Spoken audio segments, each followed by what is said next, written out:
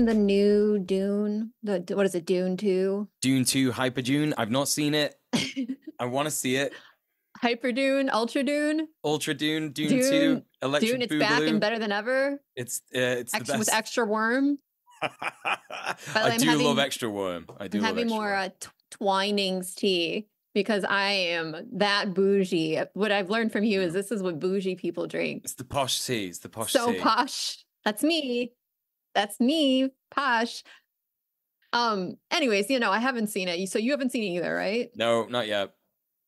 Have you uh, heard about what Neil deGrasse Tyson, friend of the show? No, I've not. Please, please enlighten me as to what he has said.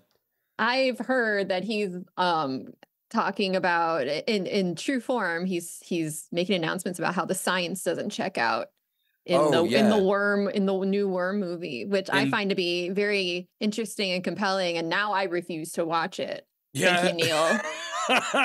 uh, he, you know, I think the thing is, is that when you're watching a science fiction movie, if you forget the fiction bit, then you're just not going to enjoy it, are you? Like, you know, it's kind of like uh, uh, when Star Trek: The Next Generation did the the the Israel Palestine episode, and they got that wrong, didn't they?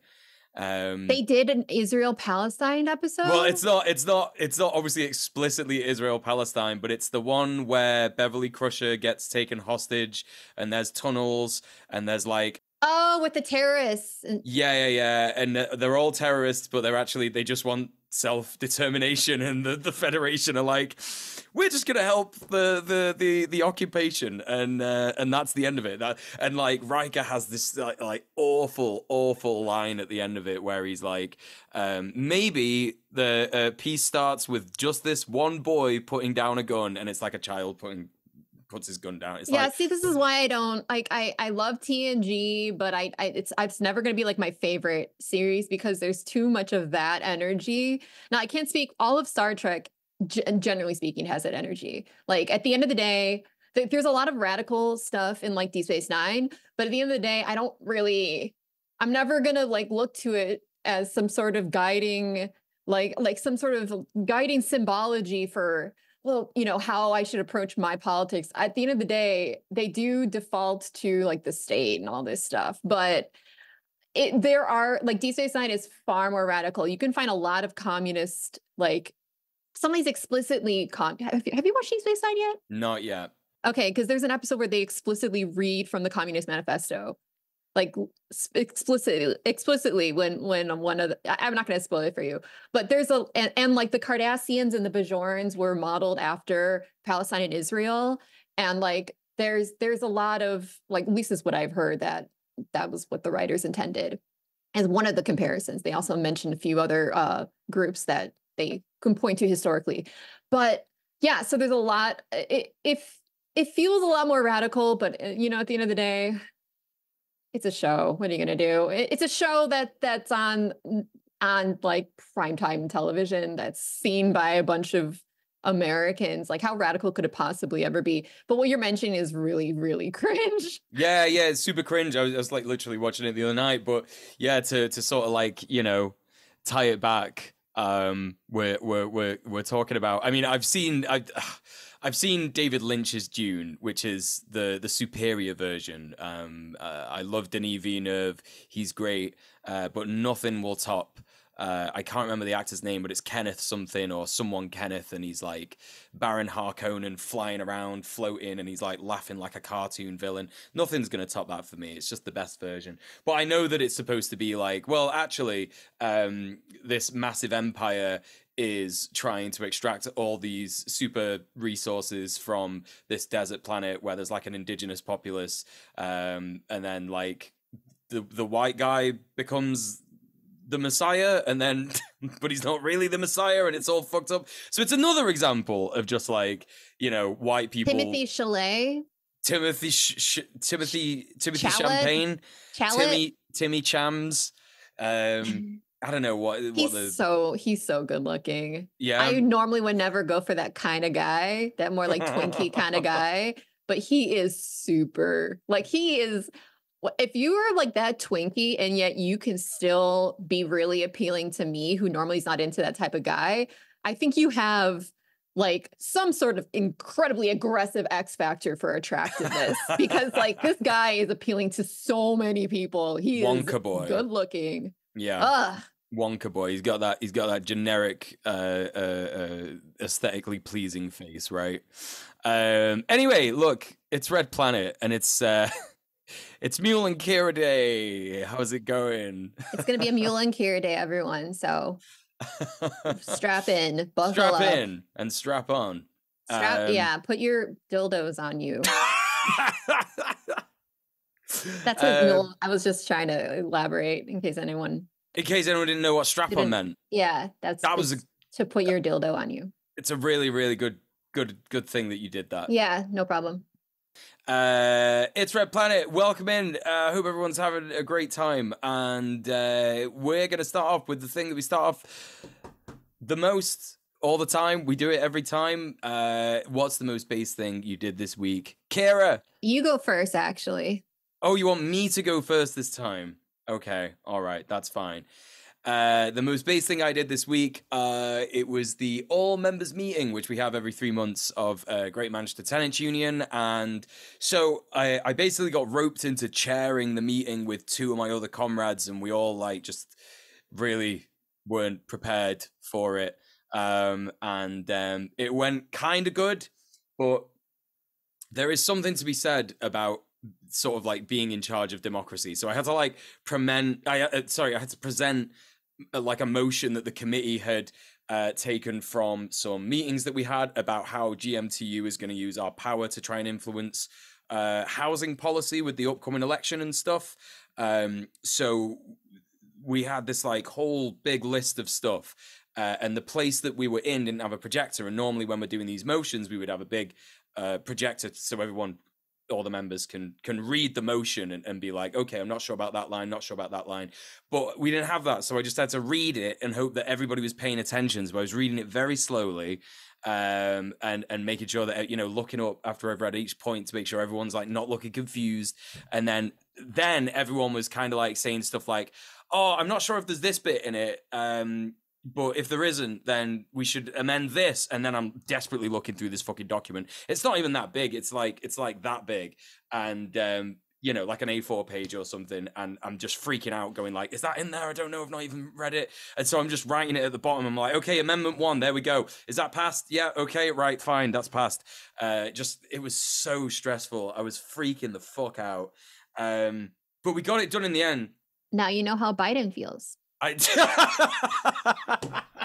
yes, because Biden's always doing that, isn't he? He's always like saying to everybody uh, in the Democratic Party, members, supporters, everything. He's always saying, "Yes, how should we change this bill? Do you want to change it to something else? Should we vote on every amendment?" Yeah, he makes sure no one's confused. Um, make sure that everybody fully understands what's going on. Um, uh, and then and then passes a very democratic thing, and uh, everything's good and fine. So that was that was a bit that was a bit intense. Uh, but on top of that, it was good. Um, yeah, there was there was like a bit of an interesting uh, thing that happened, which was unfortunate. Where like, uh, so I'm just going to tell you about this because it's pretty funny. It's unfortunate because there was a person who took it really badly and like left the meeting. Uh, but there's this person who is involved in like a campaign. I'm obviously not going to mention any names because I respect our members. Uh, campaigns that we've been on uh, to resist gentrifications and stuff and stuff like that that's been going on, developments all over Greater Manchester. And she was she was talking a little bit like she was getting a little bit cringe, and she was talking about like cabals, and she was talking about like you know globalists and stuff like that. And i was and i was about to i was about to be like i'm gonna have to stop her in a, in a second because it's about to get real weird. But then she started joking about electoral politics and saying things like keir stalin uh, and tony blyer and i was like okay that's pretty funny. She could keep going as far as i'm concerned. But then she said Keir Stalin, though. no no it's pretty funny because it's true because he is like an authoritative uh Yeah, sort of- but when people make know. Stalin jokes and then also do anti-Semitic, oh like, yeah sure potentially sure, anti-Semitic sure. stuff like I do not align with that. No, no, no, no. So this is this is kind of what, what I'm getting to with this. Um, she then said, uh, "Well, he's got a knighthood, hasn't he? And pretty much anyone who's got a knighthood is probably a paedophile." And that was really funny. So pretty much everybody laughed, but this one person got really upset and left, and I felt really fucking sorry for him because it was like. Oh, just that, like the... if the, that's the line though, that's that's a little. that's what I mean. That's what I mean. I was like, okay, come on. Like at that point, I literally said, okay, like let, us move on.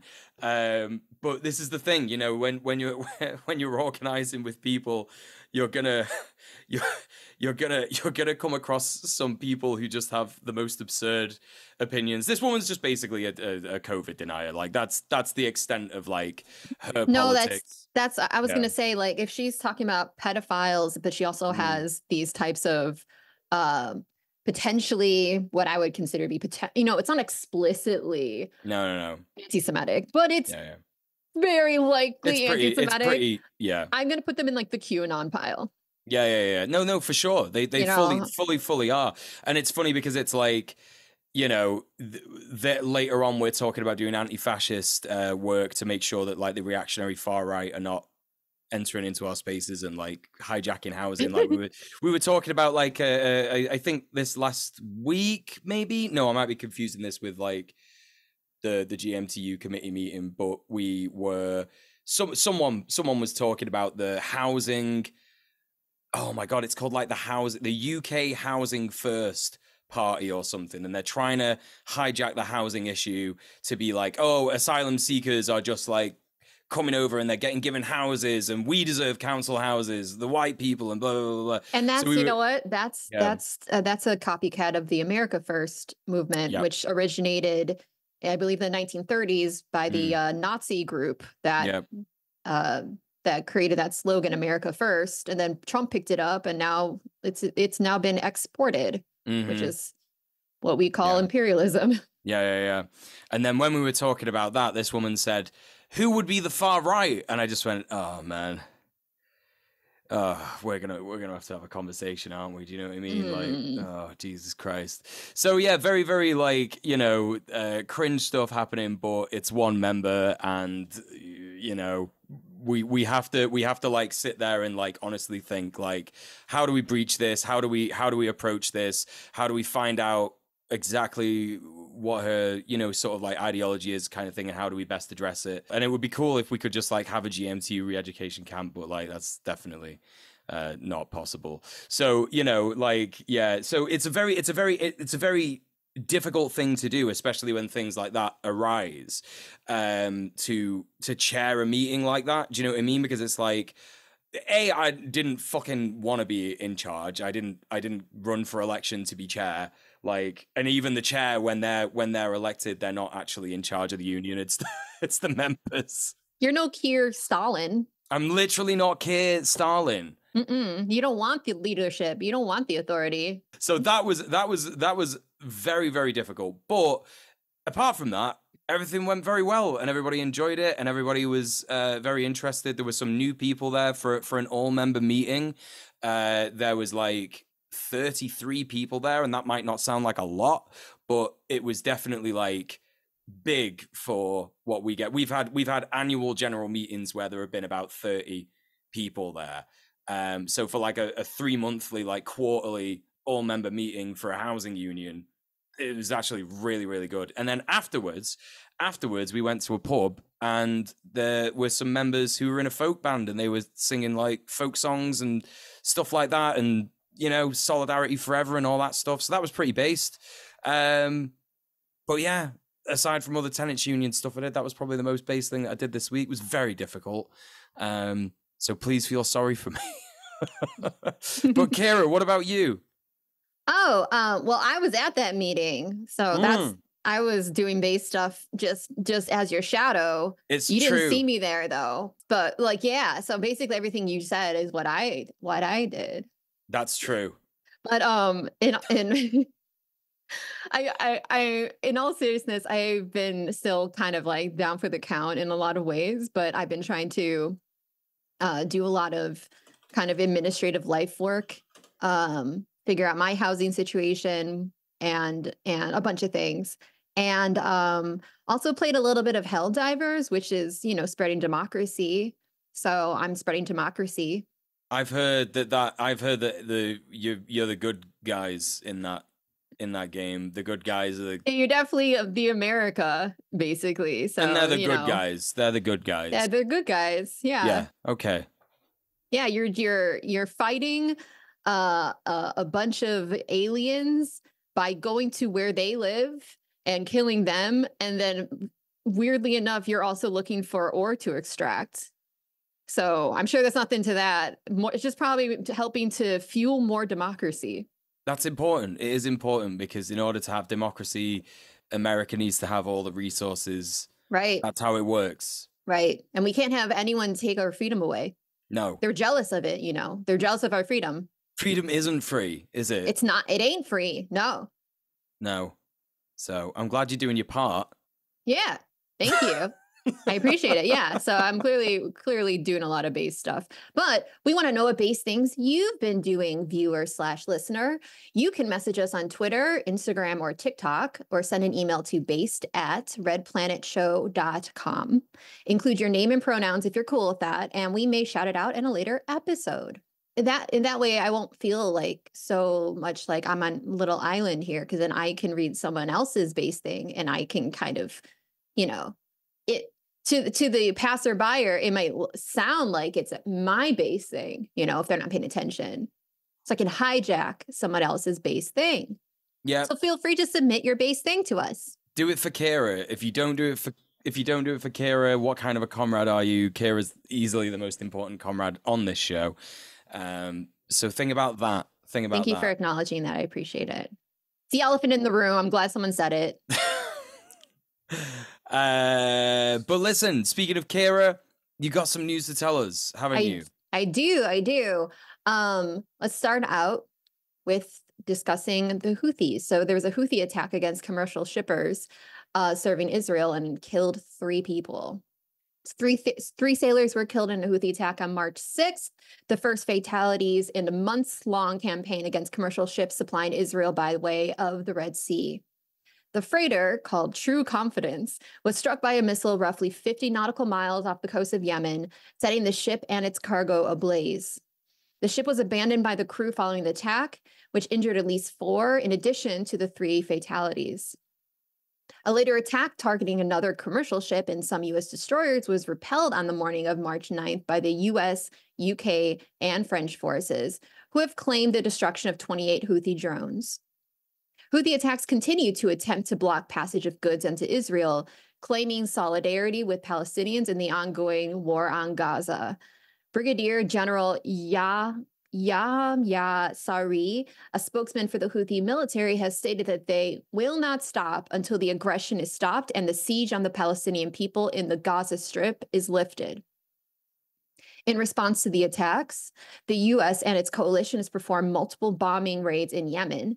In addition, the US has designated the Houthis as a terrorist organization in an attempt to cut off cut Yemen off from the international finance system, a move that likely will increase humanitarian and economic suffering within the country. Classic us, classic America.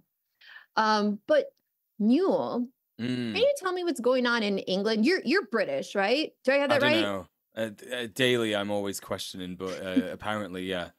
Apparently, I'm British. So since you're British, you know all the things that happen on your island. It's not a very big island. Could you tell me what's going on there? Yeah, sure. Um, so this is this is actually really interesting news. This is um, a document that has recently uh, been uncovered from the National Archives that reveals MI5's involvement in the miners' strikes and how it was significant in crushing British working class resistance. So, if you know about the miners' strikes, um, you know the, these were like very very important organized working class struggles um, to do with the, the, the closure of, of coal mines in Britain and, and just how much uh, that would make working class people who worked in the mines suffer. Obviously, it's like a, a very sort of far removed struggle today because uh, we're very climate conscious in, in the contemporary era.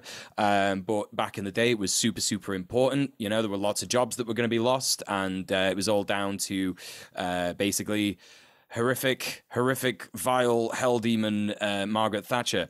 Um, so yeah, what what are the what are the what are the points of this story? Uh, a document recently uncovered from the National Archives shows the extent to which the British intelligence service MI5 was involved in assisting Margaret Thatcher's government to defeat miners organised by the National Union of Mine Workers during their year long strike action beginning in 1984. One of the most significant acts of worker resistance in British history, the miners' strike, was aimed at preventing the closure of mines by the National Coal Board.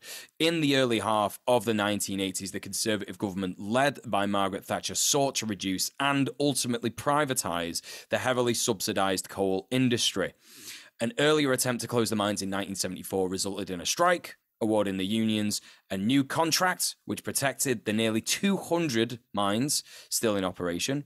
But by 1981, Thatcher was making moves to succeed where prior Conservative governments had failed, building a stockpile of coal, converting some power stations to burn oil, and recruiting scabs in anticipation of sympathetic railwaymen who might support uh, striking miners.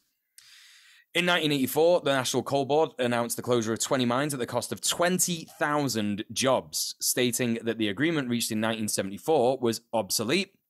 Uh, documents released in 2014 indicate that this was, as suspected by unions, the beginning of a longer term plan to close 75 pits over three years. The resulting strike was hampered by a failure by the union to secure a national ballot in support, leading the High Court to declare the dispute illegal. When the union refused to end the strike, it was held in contempt and its funds were ordered to be seized by the court.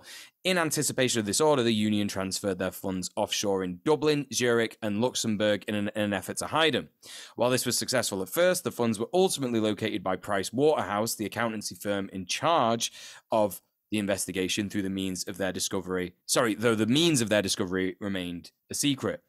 The newly uncovered memo addressed to Thatcher from the then Cabinet Secretary Robert Armstrong reveals that the senior partner at Price Waterhouse responsible for finding the funds had been introduced to an MI5 officer who agreed to provide information to help trace the miners' funds in exchange for information which could identify foreign backers of the miners' union. Through this exchange, which included information derived from wiretaps operated from MI5, Price Waterhouse was able to quickly locate and seize the union's funds, crippling their ability to maintain the strike.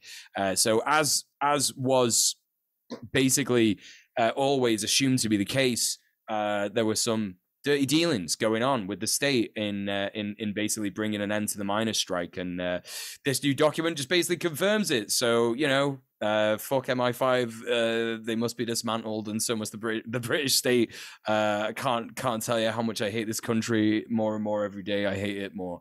Um, I do want to note that um, Margaret Thatcher and all the members of MI5, none of them are patrons of ours, actually. So I think that says a lot. That does say quite a lot. Margaret Thatcher, what are you doing? Like, why aren't you supporting the working class revolution? Look what her footprints are, and then it makes sense that she would never be one of our patrons. You know, it makes sense. It makes sense. Mm-hmm. But Kira, uh, we are always uh, very proud to have you uh, uh doing your amazing reporting on uh, the ongoing situation in Palestine. Please go ahead and tell us what's up. Sure. Um, so, as I do every week, uh, I talk about Palestine a little bit more in depth than most of our stories, but this is not even remotely a comprehensive um, report on what's going on in Palestine. It would be pretty much impossible to provide that. There are too many stories, there's too many tragedies. I will be providing you with some notable things, um, but but just to tell you that this is not even remotely the gravity of the situation. Um, today marks, this is not specifically about Palestine, but this is just in, with respect to our uh, Muslim viewers and listeners.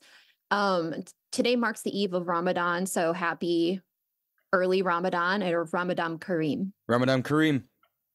Um, unfortunately, the death toll in Palestine is now exceeds 31,000. I should note that this is the official death toll. This is not the unofficial, which tends to be a little more accurate because um, of the the meticulousness of how these death tolls are arrived at and how they tend to have a name attached to every single death. Lots of bodies are unidentified. Lots of bodies are under the rubble. Um, lots of lots of there's a there's a lot um, of death that is not being accounted for in these estimates that you'll read. So just take them as like a very very low ball, which is horrific. Also note that this is the vast majority of these people are non-combatants. Um, the most of them are women and children. Okay, so I actually want to spend a little bit of time today not talking specifically about the the horrors that are happening in Palestine, though I will get to that later. But I kind of want to focus a little bit on Joe Biden, Genocide Joe, friend of, friend the, of the show. show, friend of the show. um, so we talked about this a little bit uh, last week, but uncommitted voters are making a statement in the U.S. Prime presidential primaries. So, as your resident American, I'm going to explain this to you. The way the primaries work in the U.S. Um, is that every U.S. state has a date where its voters are tasked with deciding who the next president is going to, or who the next presidential candidate is going to be. So if if you're a registered Democrat, you will vote for um well it, it gets kind of weird. Every single state has their own little things, but generally speaking, if you're a registered Democrat, you will be deciding who the Democratic uh candidate's going to be and there's a lot of annoying math that goes into it. There's a lot of different ways that each state ranks this and that, electoral college, this and that. It's it's a mess. But that's the way that you end up having Joe Biden as the as the guy that's you know, representing the Democratic Party versus Bernie Sanders or so on and so forth, right? So every single state has their own date. Some of these dates are on their own, but some of these dates are overlapped. Many of them are overlapped. It's understood that many of the voters in America are pretty impressionable, little, little, little impressionable sheep. And so the outcome of the earlier primary elections has a lot to do has a heavy bearing on the outcome of later ones, especially since many candidates will end up dropping out if they don't get enough votes in the earlier primaries. So enter Super Tuesday. Super Tuesday is a date earlier in the primaries where approximately one third of all the delegates to the prime presidential nominating conventions can be won, which is more than any other day. The results on Super Tuesday are therefore a very strong indicator of the likely eventual presidential nominee of each political party. You may be familiar with the Super Tuesday Super Tuesday um, from 2020, where Bernie was pushed out of the race by an unprecedented last second coup, effectively, by the Democratic Party, where Biden's incoming administration, assisted by Obama, galvanized support for Biden by urging other candidates to drop out before Super Tuesday. And uh, if you recall, notably, Bernie's rival, Elizabeth Warren, remained in the race, effectively splitting the progressive vote, hurting Bernie further. The unusual move allowed Biden to collect all the liberal scraps remaining from the dropouts and gave Biden the quote unquote win over Bernie which led to Bernie stepping out of the race. So just to give you a sense of like the significance of Super Tuesday and also to jog your memories what happened last time. Now this year, Super Tuesday fell uh, this past week on March 5th, and it was far less dramatic, right? We there's no grassroots pseudo socialist movements to back. There's no ceasefire candidate. There's really only Joe Biden and anger, the anger of all of us for him continuing to support this ongoing genocide of our Palestinian comrades. Um, so there's really no progressive anything on the ballot. There's no ceasefire candidate. There's just Joe Biden and our anger. So as a result, pro-Palestine activists have been urging voters to cast a protest vote for the option, quote unquote, uncommitted. And this is provided on the ballot. Every single ballot has the option of uncommitted. So prior to this year's Super Tuesday, Michigan, who had their um, primary in February, I think it was February 27th, and was therefore very meaningful for subsequent states. Remember, like I said, the earlier states, because of the little sheeple, little impressionable sheeple nature of the American voter, um, earlier states have a, a big, you know, make a big impression on the results of later states. So Michigan is one of the bigger deals states because of it's it's an earlier state. they saw more than 100,000 uncommitted votes, which is a whopping 13%. This is this is unprecedented. This Super Tuesday, which was this past week, saw thousands more voters take uh, the lead of Michigan, notably in Minnesota, where nearly 20% of voters chose uncommitted in protests of Genocide Joe, which is huge. As a result, a network of major Democratic donors are now raising the alarm about Joe Biden's performance, saying that the uncommitted movement premiering in Michigan and, and demonstrated later on in Super Tuesday is a wake up call for the president. A leaked memo to donors of the mega donor Democratic network, Way to Win, which is not only generates millions for Democratic candidates and specifically Joe Biden's uh, uh, upcoming or his election, but also is responsible for directing way more money. Like they are they they're I looked into them. They're an org that like receives donations and and helps to direct them places. So they're very influential. A memo that they sent to their donors warned their members of the massive uncommitted movement, saying that members should quote, not try to argue ourselves out of the fact that Michigan is a major warning signal that something needs to change. That too many voters in close swing states who are fed up with the system will choose either to not vote at all, vote but skip the presidential ballot, or vote for third party can- presidential candidates. We are seeing this everywhere in the data. They also stated Michigan's 100,000 plus uncommitted voters in 2024 are a siren and a clarion call the energy behind uncommitted is not something that should be ignored, taken lightly, or dismissed as isolated to Michigan. Michigan 2024 is not an anomaly, just as Michigan 2016 was not. And we saw the result of that later on in the in Super Tuesday, and they were correct. The memo also cited that, quote, nearly three quarters of Gen Z voters now say they disapprove of Joe Biden, President Biden's handling of Gaza with 58% of 18 to 34 year olds favoring unconditional ceasefire. To remedy this, the memo suggests strategic imp- the strategic imperative of changing the course on Gaza, saying that Biden needs to hear the concerns of the voters he's lost, including activists. This is what they said activists, Muslims, Arab Americans, voters of color, young Jewish voters, and young voters in general.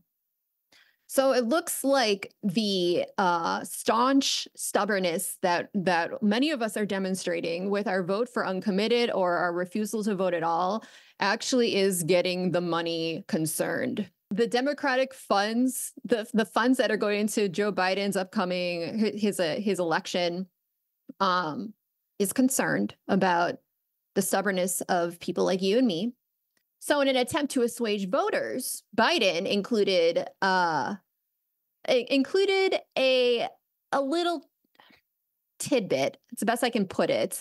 Uh, during his State of the Union this past week, um, he said that he intends to set up a temporary humanitarian aid port in Gaza in the Mediterranean Sea, insisting that no U.S. boots will be on the ground. So that's his uh, his that's that's him trying to win back your favor. In my opinion, of course, he claimed that this war has claimed more innocent lives in Gaza than any other war in Gaza, which obviously, but he also stated that more, he also stated that more than 30,000 Palestinians have been killed, quote, most of whom are not Hamas. So he's doing the thing that I always notice liberals do, where they create a horrible situation and then they stand next to it and point at it and tell you how horrible that situation is and tell you that you the way that you need to address the situation is give me more power. While the entire time never acknowledging that their hands are directly involved in the creation and the continuation of that situation. So he's he's just doing the regular liberal thing. However Pro-Palestine, pro-Palestine protesters were not having this from Biden. They were not having it. As the U.S. remains Israel's biggest military supplier, effectively making this ongoing genocide possible, protesters blocked Biden's route to his State of the Union, yelling, not another nickel, not another dime, no more money for Israel's crimes, and projecting Biden's legacy as genocide on a nearby government building. This is really cool because this echoes what happened in the UK when they were having that supposed vote with the SNP for a ceasefire um, that got completely fucking destroyed and and they also beamed like onto the parliament buildings uh ceasefire now uh or something to that effect. So it's it's really cool to be able to see the the the actual mirroring of stuff that's going on in different imperial core countries regarding this. And it's just like so so so important i think uh what the, the point i was trying to make uh earlier was that actually the you know the uncommitted vote is actually having a, a direct effect on uh, the money, as you were saying, and that was its entire that that was its entire sort of function. Um, because if you can get donors, if you can get financiers of campaigns to worry about the candidate, then there is a potential for not only a, a switching of a candidate who is to someone who's more uh, willing to say something like "we want a permanent ceasefire" or something, you know, a bit more progressive than what Joe Biden's doing, but it also might mean that Joe Biden might change his his, his tune on it. So well, it's way um, yeah, it's way too late to switch up a candidate. Joe Biden will be the Democratic uh, nominee. He will be, um, but he is clearly he is clearly a guy that is firmly a capitalist. He is firmly uh, basically a shield to his donors. Like when he was elected, what was it? No, no, no. It wasn't when he was elected at some point during his election in 2020, he told uh he told like I think he went yeah, it was that he told his donors that nothing will fundamentally change. So he said that when he was going to be elected that don't worry, I'm not going to change anything for you. And this is this is in order to you know assuage their fears because Bernie was just saying a bunch of stuff about, you know, 1% should needs to be taxed and and redistribution of wealth and blah blah blah blah blah.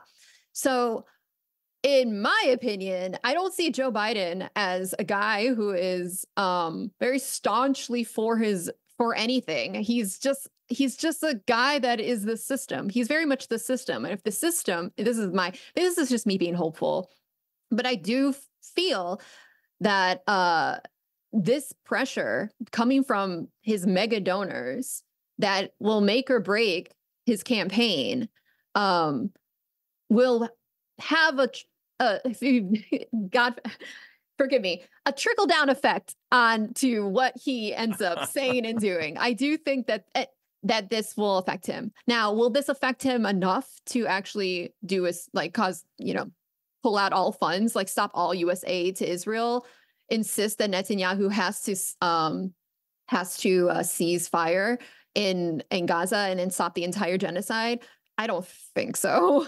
I don't think it's that strong, but I do think it's going to lead to some of these liberal concessions like humanitarian ports and you know some sort of you know, more aggressive finger wagging. Um, so I I mean I guess we'll see. So um, also more about our friend Joe Biden. Joe Biden makes some contradictory remarks on Israel in order to further save face. So, in a contradictory and plainly confusing interview with MSNBC yesterday, Joe Biden has warned that there are red lines that Israel should not cross in its war on Gaza, while also insisting that he would never abandon Israel, saying, quote, the defense of Israel is still critical, so there's no red line where I'm going to be going to cut off all weapons so they don't have the Iron Dome to protect them. But there's red lines that if he crosses them, and then Biden said, without finishing his train of thought, adding that his administration cannot have 30,000 more Palestinians dead. And if you listen to him talk, I haven't listened to Biden talk in a while. He's like slurs his words like the entire time and doesn't finish his sentences. And, you know, do what you want with that. But I he's not making any sense. I think he's just kind of panicking under the pressure a little bit and just trying to sound like he's like a really good guy that cares, but ultimately has no intentions of ever changing his tune. But did you not see him walk past that helicopter? what? what is he supposed to be like cool guy now? This was this was a couple of this was a couple of weeks now. Um, I I can't remember what the exact thing is because whenever this stuff just pops up, I just treat it like a clown show. Um, and and it was it was literally like he walked away from a press uh, a press pulpit and and and liberals were tweeting the video and going, "Look at his gait! Look how confident he is, and he's just walking away normally." Um, yeah, really. Uh, yeah. This gives me flashbacks to the 2020 elections where like every liberal news outlet had body language experts that would analyze Bernie Sanders' body and tell and talk about how his position, how he's like a sexist basically and can't be trusted. the like, frame, the frame, the frame is wrong. The frame's not right. Uh, Joe Joe Biden's frame though, that's uh, that's erect. It's stiff. Uh, you know, I mean, talk about like manufacturing consents. Like, it, there's nothing more like profound than that. Just getting a getting a quack on to be like, this guy who is for the redistribution of wealth, he can't be trusted. Look at it. Trust me. His look. I'm an expert in this. But this guy who's for maintaining business as usual, you know siphoning wealth from the from everyone else at the eh, you know and giving it to the most wealthiest people on the planet. No he's he's good actually. He's he's sitting upright like he's got a rod up his ass so you know that he's he's he's definitely the right guy for the job. Yeah. Very important very important uh analysis. So a few more things um just to close out this segment. Uh, i just want to touch on two disgusting war crimes that israel's committed um, these are a little bit in the past. You know, everything is recent, but like this is a few months ago. Uh, in November, November body cam footage from an Israeli soldier shows soldiers congratulating him for killing a defenseless elderly deaf man, where the soldiers laugh at how he was hiding by his bed and he had his hands up in surrender. And I saw this video and like it it just ruined my fucking day. Like to I it's disgusting. It's, it's something like these airstrikes are horrible. They're devastating, but there's something extra evil about walking into someone's bedroom and looking at them and laughing as you kill them, a defenseless elderly deaf man who has his hands up and he's shaking. And then watching everyone like high five him for doing so. Also, photos from December reveal Israeli soldiers sniping an unarmed Palestinian boy in, in the northern Gaza Strip. The incident took place during the forces' incursion into the vicinity of Al Fakhura school in the Jabalia refugee camp.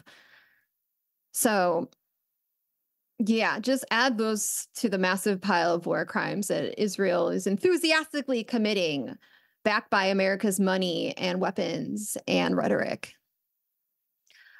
Lastly, the UNRWA calls for an immediate ceasefire in Gaza, saying hunger is everywhere in Gaza. The situation in the north is tragic, where aid via land is denied despite repeated calls. Ramadan is approaching.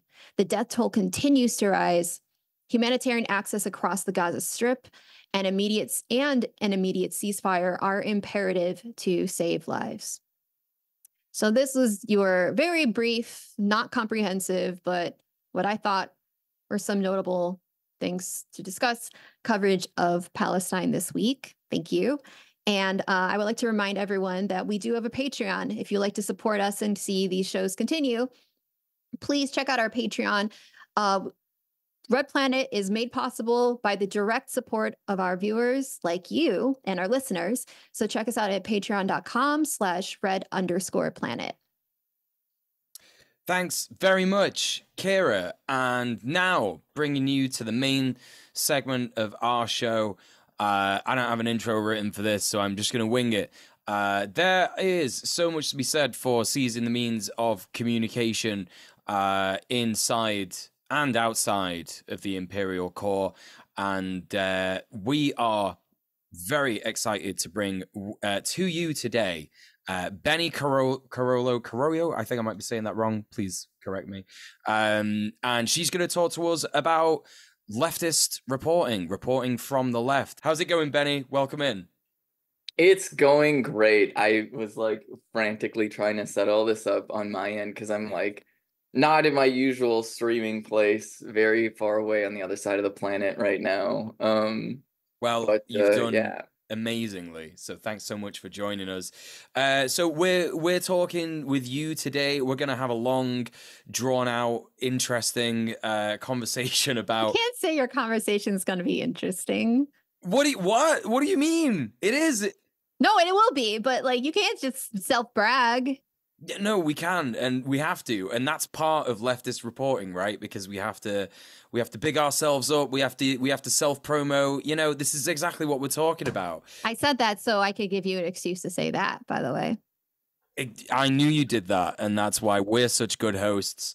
Um, but Bennie, uh, talk to us a little bit just to begin with. Uh, introduce yourself. Tell us uh, your sort of history with uh, leftist reporting because you've got a whole a whole thing. You've got a whole a whole backstory about all that. So if you uh, are okay to talk about that, that would be great. Yeah, yeah, of course. Um, well, let's see, cause like I've been streaming on Twitch for like quite some time now. I think it's probably like coming around like four-ish years, something around that ballpark. Um, and you know spent a lot of time covering the news. I ended up doing some work with tyt for a couple years and that was like a really interesting experience um and i don't know it, it was cool because i got to like cover like a ton of topics on like a like a relatively big platform uh but like towards the end of it i pretty much like ended up exclusively covering like trans issues um which is like important and like important to me obviously but the only reason i was doing it is because like I'm trans and nobody else covered the trans stuff. Um, and so, which is like a whole another like thing to talk about when it comes to like reporting, uh, especially when it comes to like trans issues, like in the left today, because there are a lot of people who are like on the left that want to be anti-trans and like have objective reporting about social issues, and it turns into this like huge issue. But um, that was kind of like the one of the biggest things that I did. I tried to do like a lot more like deep diving into specific topics, doing interviews with people who've like done stuff on the ground. Um, and it's hard to do that when you're like trying to churn out a new video every single day.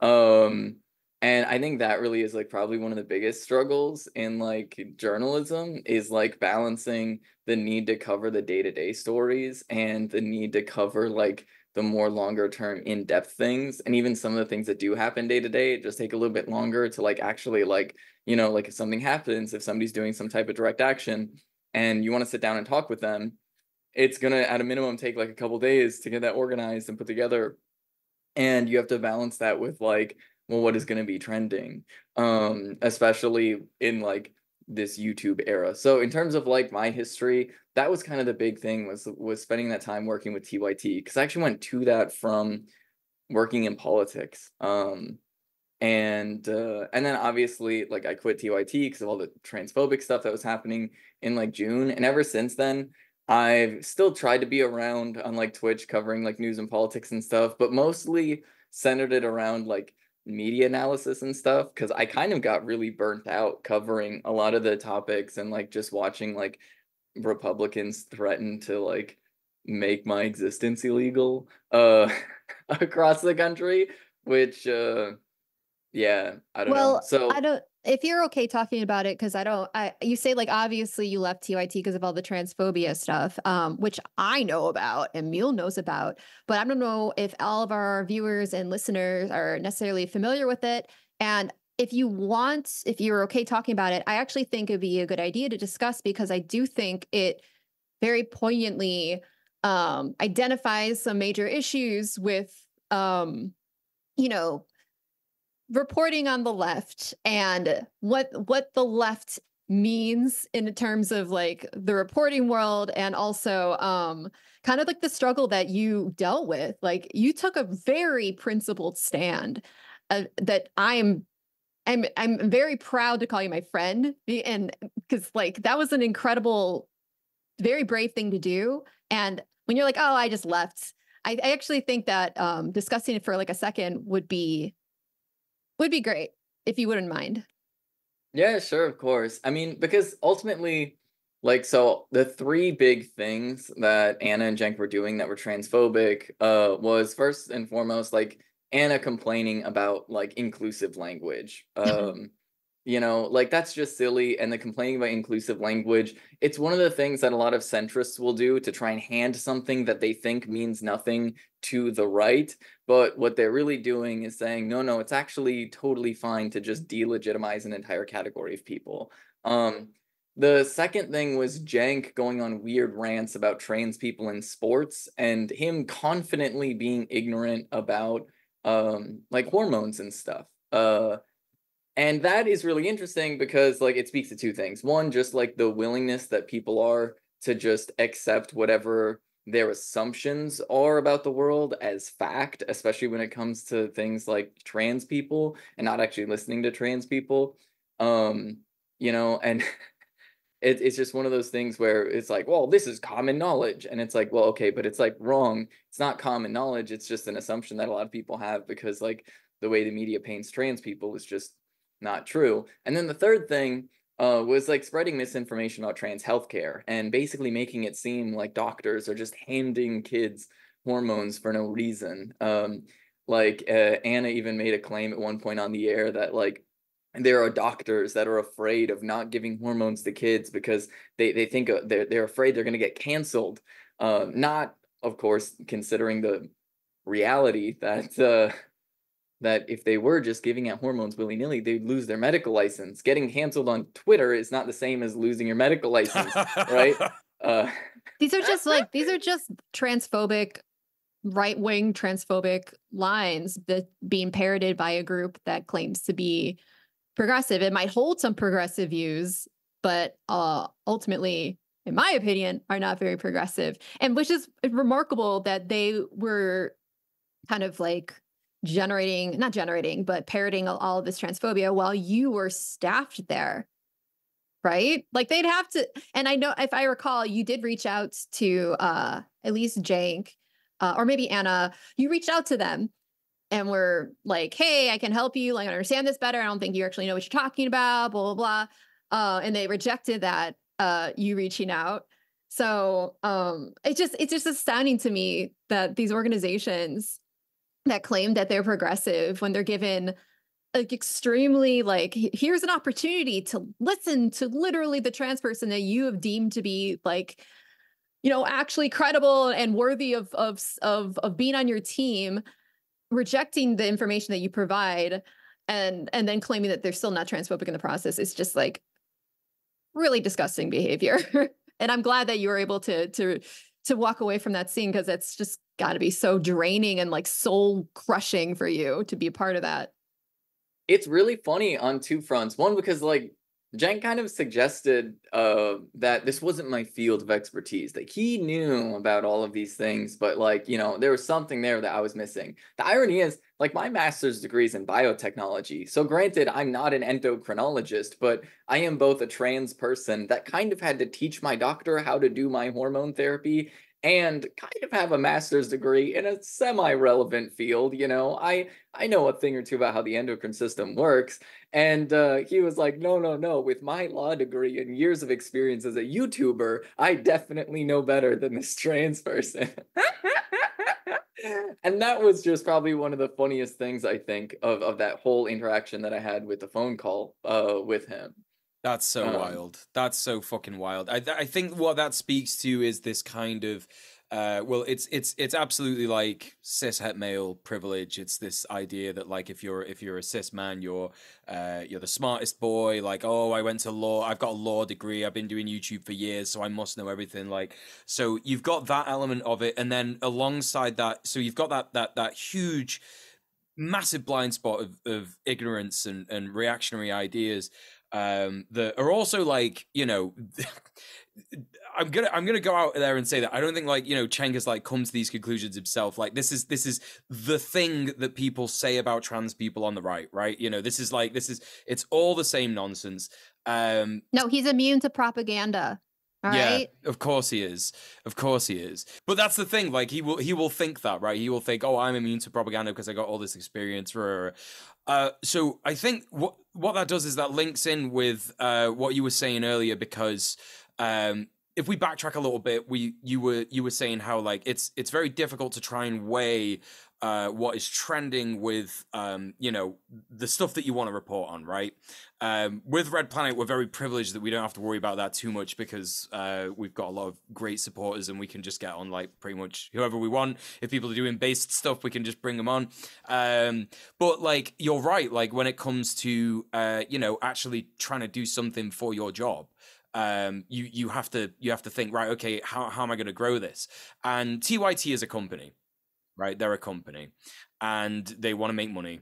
And so, what are they going to do? Oh, well, we're going to cater to these right wing reactionary opinions, and we're going to get a big, a bigger audience, and we're going to bring in more, uh, you know, centrist, like you know, quote unquote, moderate lefts, uh, uh, liberals, kind of thing.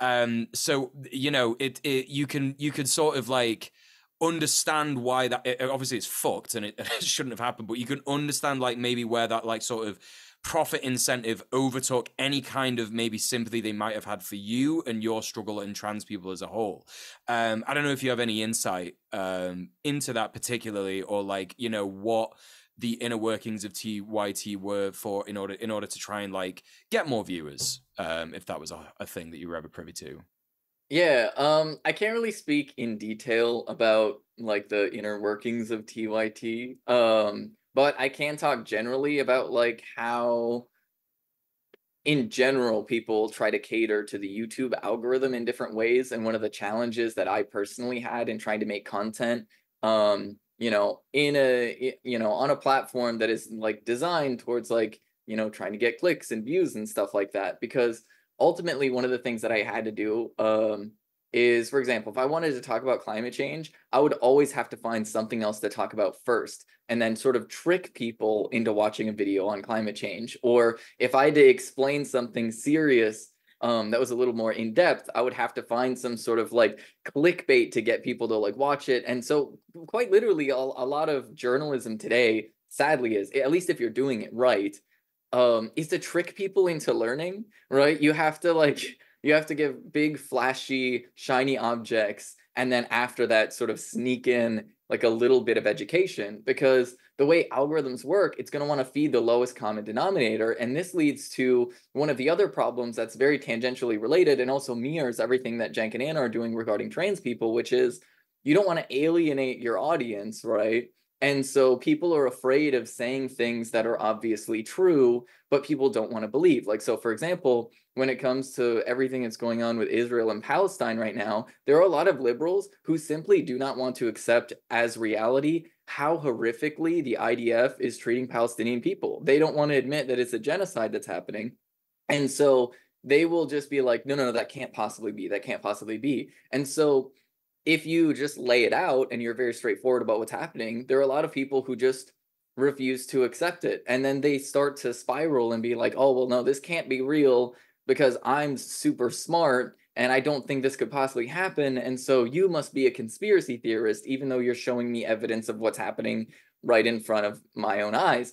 And so you know, you have to like play this game where people are always like pandering to the right. They're pandering to people who have these popular assumptions. And so, like, it is actually not that different, at least in terms of like the core mentality of what drives Cenk and Anna to say transphobic things, is like what is driving a lot of like news outlets to not really be straightforward about what is happening to Palestinians right now because they are catering to default baseline assumptions that people have about the world and they're unwilling to be truthful in their reporting because oddly enough they want it to sound more true to people who are just kind of living in a fantasy land because sadly that's where a lot of Americans are today. Um yeah and i and i think um also to just just to just to make the point that Cenk and and Anna and all and anyone who is part of the perpetuation of transphobia while donning a I'm a leftist or progressive kind of label, I think at a certain point it's not just like them trying to play this game knowingly. They they refute this is my theory that people like that refuse to ever think that they are actually being manipulated by anybody else. They refuse to believe that they're actually um, you know, they, they, like to think of themselves as immune to propaganda. Uh, they're a free thinker, um, so and so forth, a thought leader. And so, to maintain that illusion while also maintaining their their profits, um, they would have to then merge the two by truly believing what the bullshit that they're saying. Yeah, I think that's I think that's totally spot on. It's it's you get you get this like horrific kind of amalgamation of uh you know you you want you don't want to believe that these people believe any of it to like a to like a degree right you you just you want to believe that like oh, okay yeah they're just they're saying stuff because they know it's popular they're saying stuff because and it's like obviously like super harmful but like uh ultimately um if you're if you're just refusing simply refusing to actually like engage with the topic in a in an actual scientific and correct manner then uh, you're a piece of shit and you're harming people. So that you know these these are the i think what one of the big things i wanted to talk about today with you is is literally like how the the broad news media is kind of what every person who is doing any kind of reporting wants to mimic, right? So, you know, the, the, TYT, they have the whole like setup. They got the news desk, they got the fucking like uh, the graphics behind them and all this kind of stuff. Um, and they're trying to appeal to that like idea of, okay, we're a serious news channel, actually, right? We're a serious reporting uh, uh, outfit. And, and, and with that comes that sort of like, well, you know, if if you if you're gonna have all that, but say that you're leftist, well, you know, if if you're still saying reactionary stuff, you're still part of the manufacturing consent machine. You're no different than Fox News. You're no different from CNN. So if we talk about um, the the vast majority of news media essentially manufacturing consent for the ruling class, despite so because even CNN will do like slightly progressive reporting, right? Even Fox News have done like slightly progressive reporting in the past on like I seem to remember like one story about like a, a, a trans kid. Um, uh, I can't even remember what the exact story was, but it was so shocking that this was on like Fox News.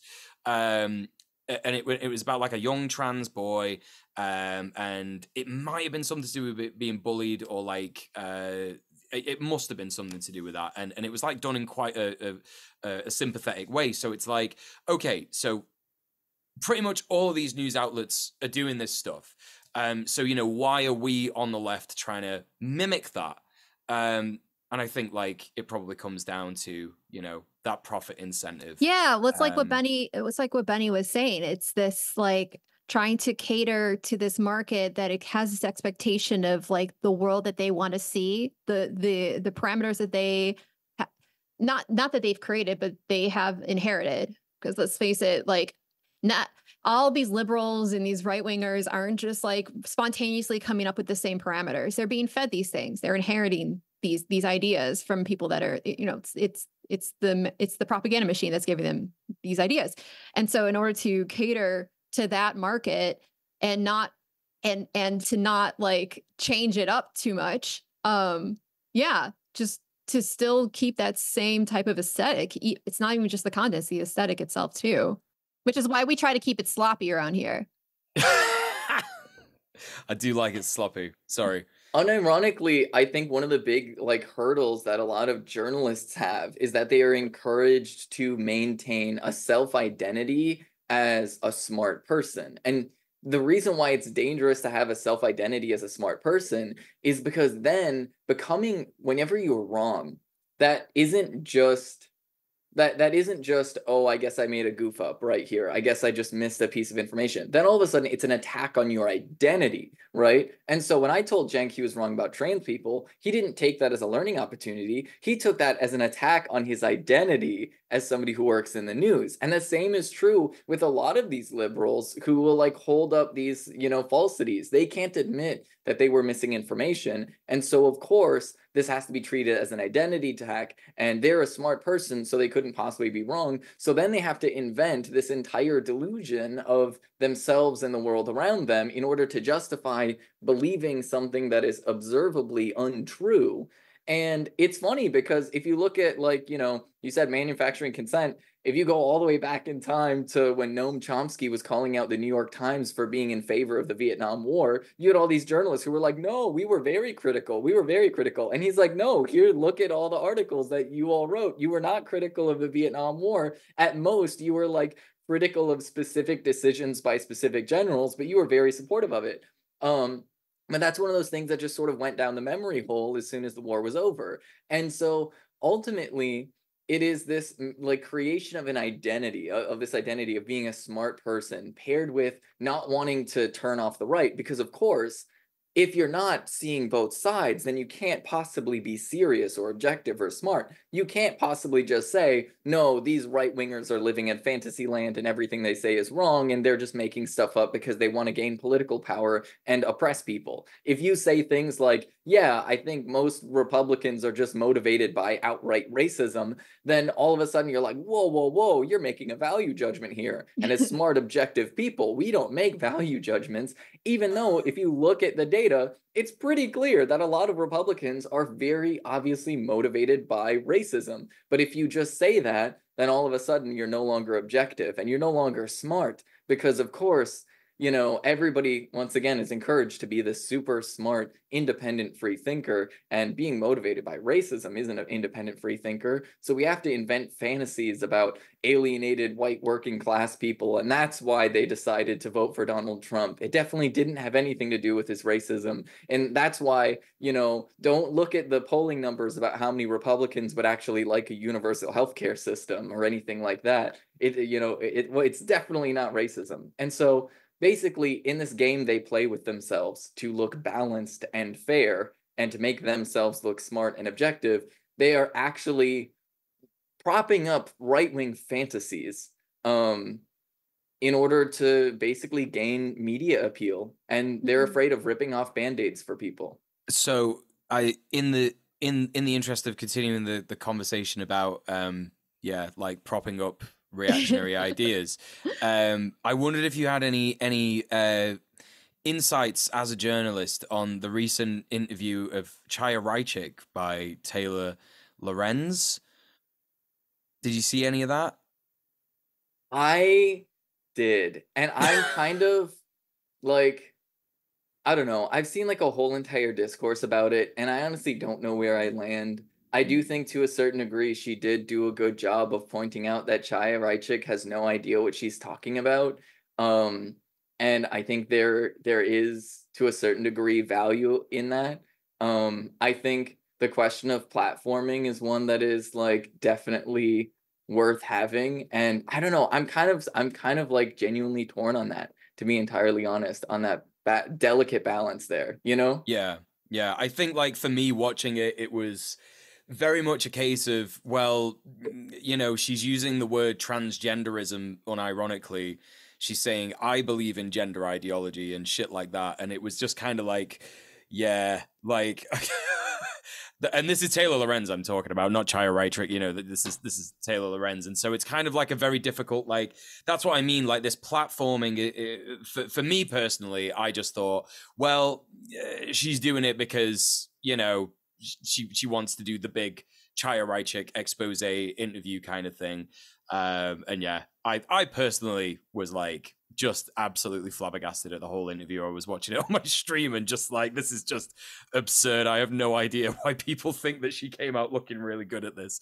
Uh, but listen, I'm I'm willing to like stand and be corrected. Um, but like you know, if we're if we're uh, gonna talk about like sort of you know in terms of platforming, platforming, I guess you can re- you can relate that to the platforming of reactionary ideas, right? So if you're if you're basically platforming reactionary ideas in your liberal reporting, then you know you're not you're not really actually like getting anything good done. Um, but we spoke a little bit as well about uh, the challenges of creating leftist media. Like you were you were talking about like the the sort of like idea of quote unquote tricking people, right? And it, and it's super difficult. And you also mentioned a little bit about getting burnt out when you're trying to re- report on certain things and I've definitely experienced that myself on my stream where it's been like, uh, you know, you you want to report on every single thing that is important while having those like super key words of like, what is the thing that everybody's mad about today, right? And can I relate that in some way to talking about how direct action can solve this and organizing um, and that's the real struggle so you know talk to us a, a little bit more about that in terms of um, you know, because these are challenges. These are the challenges of, of creating leftist media that is like independent and important. Um, and what kind of struggles did you go through in in trying to make that change to that kind of format? Yeah, I mean, I think the most difficult thing to talk about always was climate change. Um, on two fronts. One, it is emotionally difficult to just sit and talk to people about like, yeah, we're kind of doomed if we don't do like a lot about this. Um, you know, another thing that's hard to talk about climate change is that unironically, the best country right now when it comes to like developing renewable energies and everything like that is China. And if you want to point to like what's a big country that's actually doing a lot to like deal with climate change? Well, it's China. It's obviously China. There's not any other like major country that is reaching Tanky. its climate goals in the same way. Tanky. Oh no! Right, exactly. Oh no! Exactly. It's it's the dangerous tanky show. There's three dangerous tankies on a panel together. Uh, so so yeah, that is like a genuinely difficult thing because a lot of people don't believe that we can actually do anything about climate change. And the best way to get people to believe that we can do something is to point to a country that is doing something. And it's like, well, look at China. They're somehow managing to do this. So we definitely could. It's not that it's impossible. Um, and it's just a little bit doomer. Um, and for whatever reason, it doesn't get clicks because I think everybody on some baseline level know, in like the back of their mind, they're like, we are a little bit doomed. We're kind of screwed. Like we're destroying the planet and it, things are really really bad. People have that like looming fear but they don't want to look at it right? It's like you know it's like there's a demon like sitting in the corner staring at you and you just like avoid eye contact and like pretend it's not in the room the whole time and like that is climate change. It is this like haunting figure in the background that people don't want to look at because that would make it real.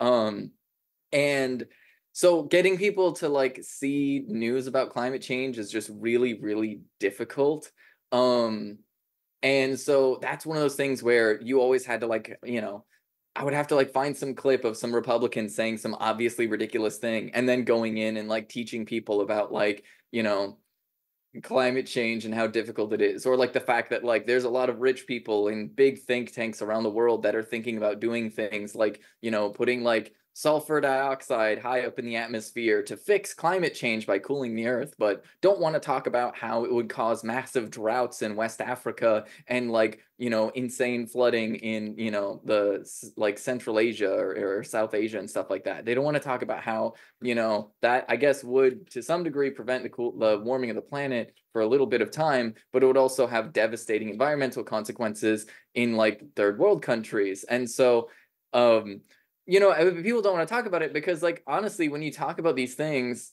people will just kind of paint you as some sort of conspiracy theorist because, once again, it's an obviously one sided thing. And of course, the smart brained journalists create this mentality that, well, no, if you say something is just one sided, you must be a radical extremist conspiracy theorist. It couldn't possibly be that there are just happen to be a lot of rich people that are profiting off of this. Um, you know, it has to be some sort of like evil conspiracy. And so you're a conspiracy theorist. And so those things are some of the most difficult ones to cover. It also was difficult to cover um to cover a lot of trans issues because first and foremost as a trans woman a lot of people are going to say deranged things about my appearance which like whatever i don't know you can call me ugly all day long i'm that's not going to change what i see in the mirror um and then on top of that there's just like a lot of people who just kind of don't want to believe and they once again want to play the game of well i'm this smart centrist liberal and how dare you suggest trans people uh you know be able to play in sports? Or they have takes like ana where they're like you know i think trans people are fine but they shouldn't take scholarships from real women. Oops i mean you, you know and then they like stumble on themselves because they realize what they're saying but like ultimately those are the issues that become very very difficult to talk about both because they hit on a personal level and because they are so obviously one-sided right? They are so obviously one-sided. And i also did my best to try and cover once again countries like china and like cuba that are doing like really awesome things and pointing out like the realities of I mean, the whole war in Ukraine was like a whole nother fiasco to like start talking about because it was like one of those things where it's like, yeah, Russia shouldn't have invaded Ukraine, but also it's silly to pretend that the United States wasn't wanting this to happen the whole time, right? Like, so both of those things can be true. And people that want everything to, in some ways, be very one sided, at least when it comes to US foreign policy. I think that is such a good uh, point because, and uh, that I, I think that the the fundamental sort of uh, uh, pervasive thing that that just permeates everything about like this discussion and what what do the consumers of this kind of media want right and if you're in if you're in the west like us if you're in the imperial core you want everything to be like a neat concise simple package right? You don't want to have a difficult nuanced discussion right? It's like the ukraine thing that's a difficult nuanced discussion. And for some people it's just easier to be like uh, yeah, like everything is really bad, and we should give loads of money to Ukraine, and and that's really good, and that's the end of my thinking about it, right? Um, and then conversely, there are other people who are like, no, Russia are really good, and they're like reviving communism somehow, and the you know just nonsense. So you know, it's it's it's that kind of like very. I think that we because we're so comfortable in the West, um, our, our news and our ideas have to be convenient, little, easy to digest uh, you know, bite-sized, uh, uh, uh you know, uh, well, sound bites, you know, literally sound bites that we could just like say to our our friends, and that's that. And I think that's like the big challenge when you said. when you said you get called a conspiracy theorist, this is this is literally something that I was called by my ex's dad. Like when I was explaining the the imperial core and the walled world when when we're talking about um uh, uh the the migrant crisis and and uh you know countries that are, that are basically abused to extract wealth and, and export labor to uh, outside of the imperial core. And he was like, oh, it, it, it's not it's not that it's not that uh, uh, complicated. You making it sound like you're a conspiracy theorist and it's like no i'm not. I'm actually this is actually like quite simple. I know it's like a little a bit of a difficult concept but like no th- there is a huge imperial alliance that is that is oppressing the rest of the world.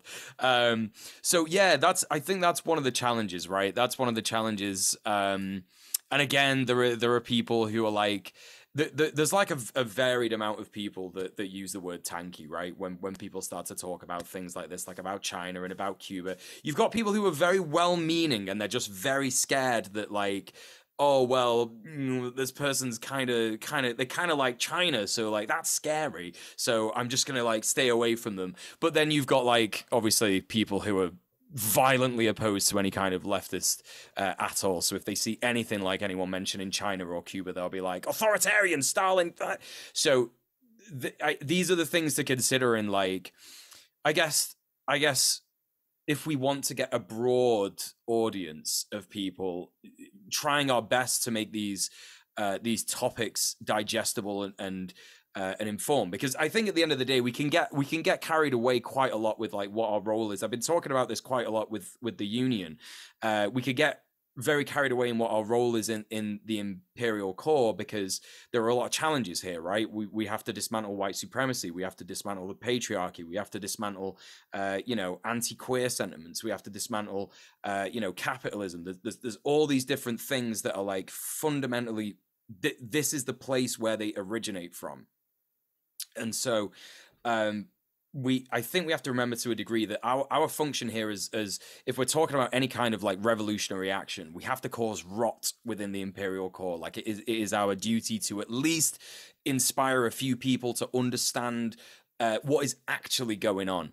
Um, and so like considering ethical like uh, leftist reporting, um, what do you think like the um, where where do you where do you think it should be like strongest? Because you mentioned about uh, you know talking about how China is actually doing stuff uh, with regards to climate change, and you know you can also report on Cuba, for example, like Cuba like passed one of the most amazing.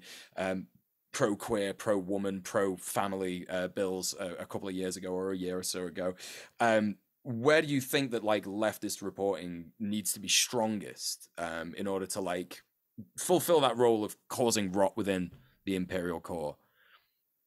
I and this is one of the most difficult things, but like I unironically think one of the best things to do is to kind of point out some of the good things that socialist countries around the world are doing and like opening that dialogue. Um mainly because it shows people a that a better world is possible and b undermines a lot of United States foreign policy, right?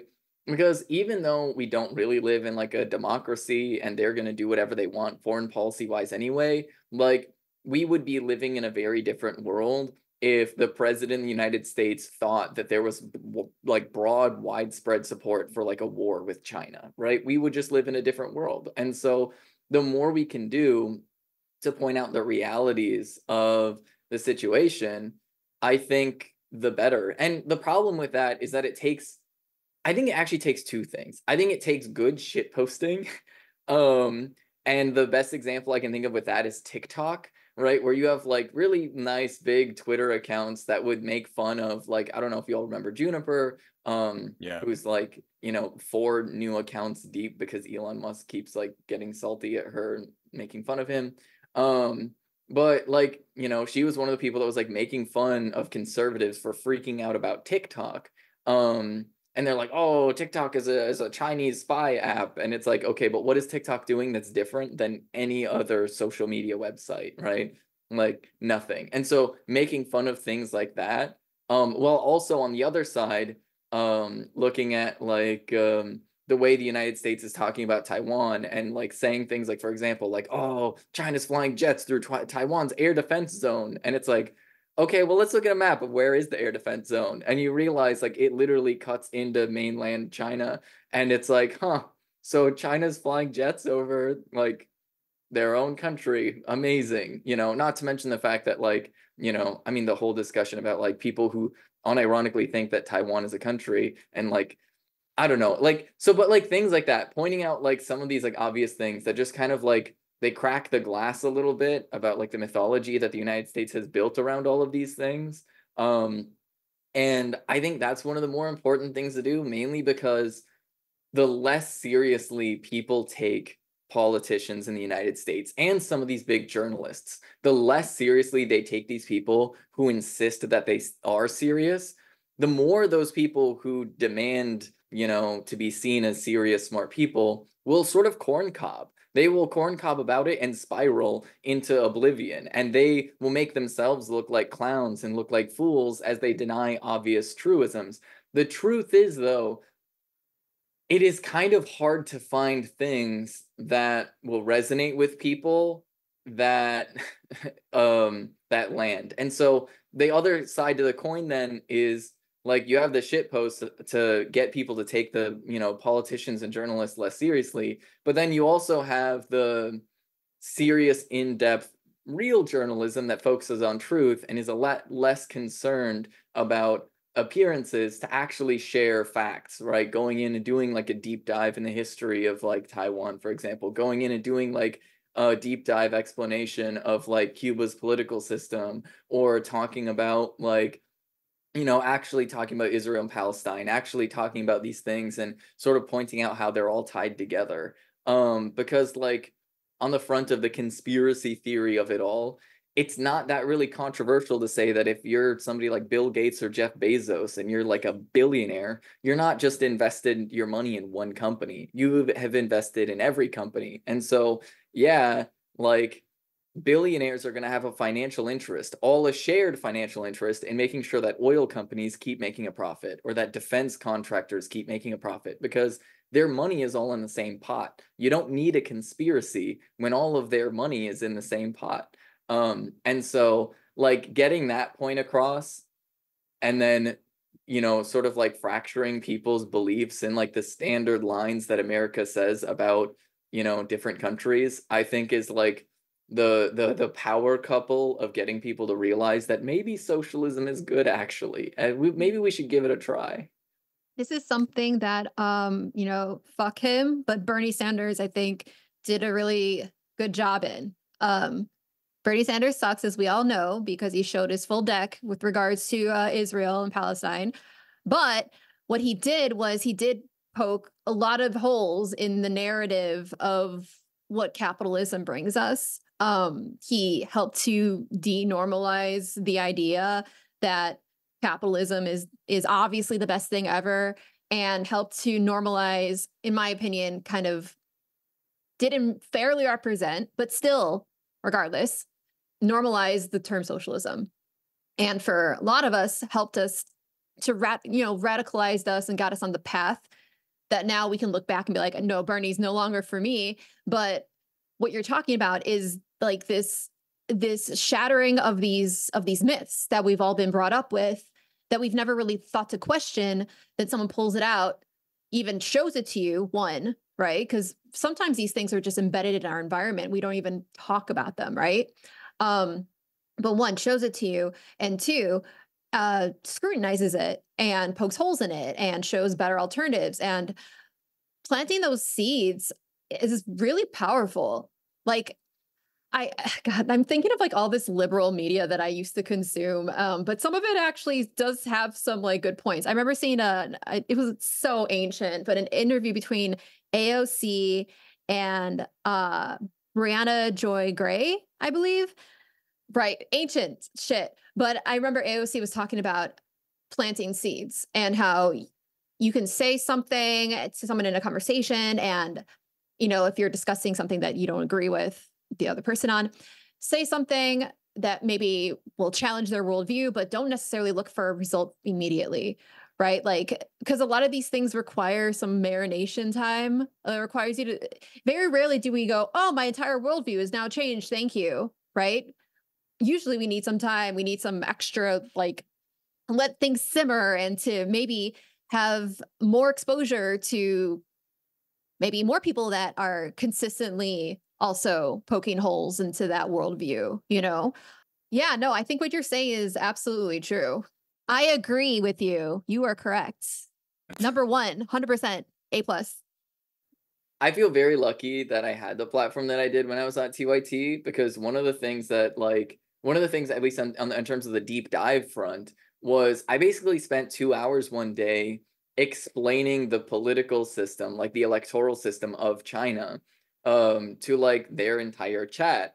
And it was like a slow process because people will say oh but bennie bad things happen in china. But they're like did you know that? And it's like well okay. But like they're a country right? Like any country is going to have bad things. And you know like we live you know if we have you know what says it's a democracy here and like look at all the things that are happening. Do you all agree with all the things that are happening here? It's like no. And it's like okay, well like yeah, so I'm a prison abolitionist. China has a prison system. That's bad. But also like once again, in any democratic system, you're going to have good things and bad things. And basically I spent like 2 hours explaining about like why no, they're a normal country. China's a normal country. And all of the things that you're running around saying are like dystopian 1984 are things that not only exist in the United States and the Western world, but actually are far worse here. Um, and those are the things that they take time to let people cook on and then sit on. But hopefully, if you've planted those seeds effectively, it will change the way they view everything else when they hear more news. Then all of a sudden, when they hear a news story about a billionaire getting arrested in China, instead of turning around and being like, this is 1984, they will turn around and laugh and be like, yeah, I actually don't care that a billionaire got arrested in China. They were probably arrested for a good reason. You know what I mean? Like, those are the things that just take like a lot of like effort to get people to that point. And it's not about like, you know, viewing the world in black and white, but just from the other side. It's about being able to see the world for what it is, which is the whole we live in a society of it all. Yeah. Um earlier you mentioned TikTok and you mentioned it in just like yeah, the standard way that you know every, everybody's talking about TikTok. Oh my god, yeah, you know it's so bad. It's from China. It's uh, but it's just a, a social media app, right? Um, but I wanted to talk about TikTok in specific with with relation to leftist uh, media and how it can um, change the narrative and, and help us in in sort of seizing the means of, of communication. Um, because what we're seeing on TikTok specifically has been, I think, um, quite quite important in in the recent uh, genocide going on in Gaza, uh, in, in, Palestine, because you know we're we're seeing like loads and loads and loads and loads of creators who are like just coming across uh, you know, a video of an IDF soldier blowing up a school and smiling about it. And then you know looking at these like uh, uh what do they call it? Like the the, the idf girls gun girl uh, influencer like uh, the baddie idf uh, kind of accounts and like going like wait wait wait but but these these guys are like just killing children you know? Um and doing like a lot of reporting about that. That was that was huge. Um sort of around November, December time, and that's when a lot of accounts started just getting like kind of blocked, just kind of just kind of like shadow banned and stuff like that. So because what we're seeing in, with TikTok is is individual reporting because you can yeah you can have stuff on Twitter you can like uh, uh, you know I guess like you could take videos on your phone and upload it to Twitter or whatever uh, but Twitter was already like kind of a very established um, quite oppressive when it comes to leftist reporting and stuff like that um, and it, well it's gotten worse now obviously um, but TikTok is quite an interesting one because it's like well you know, they're not so interested in trying to suppress anti-imperialist sen- sentiments. Um, but when it comes to, you know, uh, getting pressure from outside sources, they obviously had to do a lot of shadow banning. So, what do you think about like uh, not just TikTok in itself with uh, uh, um, you know its potential, but also like the the the potential of individualist reporting not individualist sorry that's the wrong word individual reporting and individual evidence based uh, you know, just posting because that essentially it's like you've got the shit posting and then you've got well the posting that is actual information that we can report on. Um, what do you think about the potential of that in helping leftist reporting? Yeah, I mean, I think TikTok has a couple of advantages. Uh, one of the big advantages is that it doesn't really have this like it does have a western bias mainly because like most of the users on like our version of TikTok are obviously in the United States and Europe but it doesn't have the same degree of western bias as like other platforms like Twitter do and we talk about like oh well the internet is global Facebook is definitely not global. Facebook is your little local bubble with maybe a few strangers that you met that you know you went to college with a long time ago or something like that. Twitter is a little bit more global but it mostly like is centered around the hubs of like a few influential like media figures and journalists and celebrities that are all mostly in the united states. Tiktok the algorithm is so random. It almost doesn't matter who you are following. And you can see this like most clearly when it comes to music where you will see some random like vietnamese artist that all of a sudden explodes in america. Um because like they just had one song that was a really popular TikTok sound and then everybody was using it. Now all of a sudden everybody's listening to somebody that nobody knew in the middle of a country halfway around the world before. And you have a net like a, a network like that that is more global. And then all of a sudden, you know, something like, you know, what happens with, you know, Israel doing its most recent invasion of Palestine. And now all of a sudden, that global network kind of comes to action and starts to reveal these atrocities. And you have people outside of the United States that are talking about what's happening without the sort of blinders of being in the United States, without the blinders of like doing nothing but seeing at most like the New York Times stories about what's going on, and then looking at, well, what is the New York Times saying, and seeing how different these things are, and then being like, wait a minute, why is the story that I've been getting so different from this and then actually seeing the videos of the atrocities and watching i mean especially like like let's be real i think one of the most damning things that we saw was all of the people in israel who were celebrating the idf and bragging about having running water and like laughing about like school children not having food in palestine. Like we all saw those videos and it's it's hard to be like, ah, yes, these are the heroes in this situation, the people laughing at dying school children. And those circulated all over the place. And so, yeah, I think because TikTok is just raw, unfiltered emotion and reaction to what is going on in the ground, and it's coming from perspectives that most Americans are not used to seeing, it is kind of waking people up, at least in this specific context. In this specific story, it is is very rapidly shifting because a lot of these people aren't even journalists. They're just people who who like care.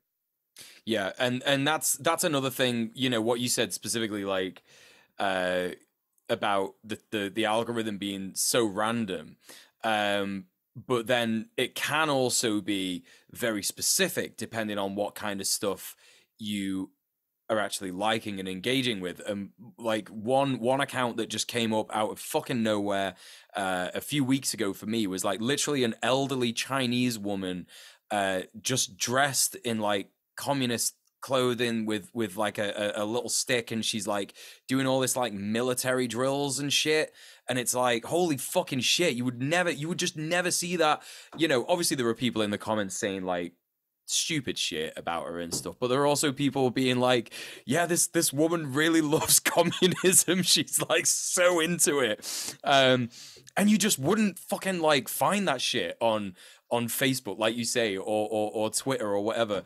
Um, and it and it's such a, a really like bizarre thing when some of the most some of the most famous people doing live streams on TikTok are like just like generic trashy like with all due respect in the world i fucking love trashy british people. Like i'm one of them in it do you know what i mean? Like that's why my background is what it is. But you know just like trashy british people who are just sat in on a saturday night before they, they go out just getting wasted and they're just saying nothing. They're just listening to tunes and it's like this rocks actually. It's completely new. It's it's weird and it's and it's interesting. Uh, so yeah like in in terms of like finding stuff that you're just not gonna see um i agree. I, I think i think it's got such a, an interesting uh, it, well it's had it's had an interesting effect on on what's um the the the narrative around around uh, the the recent genocide in in Gaza and Palestine. Um and so how that how that's going to go forward i think is going to be really interesting. So um yeah and and and you know what what i think the biggest question that we have to ask ourselves again is if what we're doing here is is trying to seize the means of communication we have to think about every avenue that's open to us. And so tiktok is one of them right? You know you could just like start a tiktok channel. If you're watching this you know you could just you could just start a tiktok account and start you know, talking about things that you might have learned by listening to this interview with Bennie, or like, you know, you can do some more research into some of those things and start reporting yourself. Like, I think that I think that people really have to understand that, you know, if we want to be doing ethical journalism on the left, we just have to be talking about stuff that um, is is actively making people's lives better. Right? That's always been our uh, ethos on Red Planet, you know, we we we spoke about DIY HRT because if you're in a state where you can't get HRT, yes, that is like something that is necessary. Um, and you know, dist- distributing uh, COVID masks and and uh, you know various different fans that will like you know protect people uh, from COVID uh, with like filters on and stuff like that. And then of course like you know direct action stuff. Um, and anyone could just go ahead and do that. We're always saying like, you know, please go and start your own Red Planet. Just go and start your own your own your own TikTok where you're just talking about this stuff.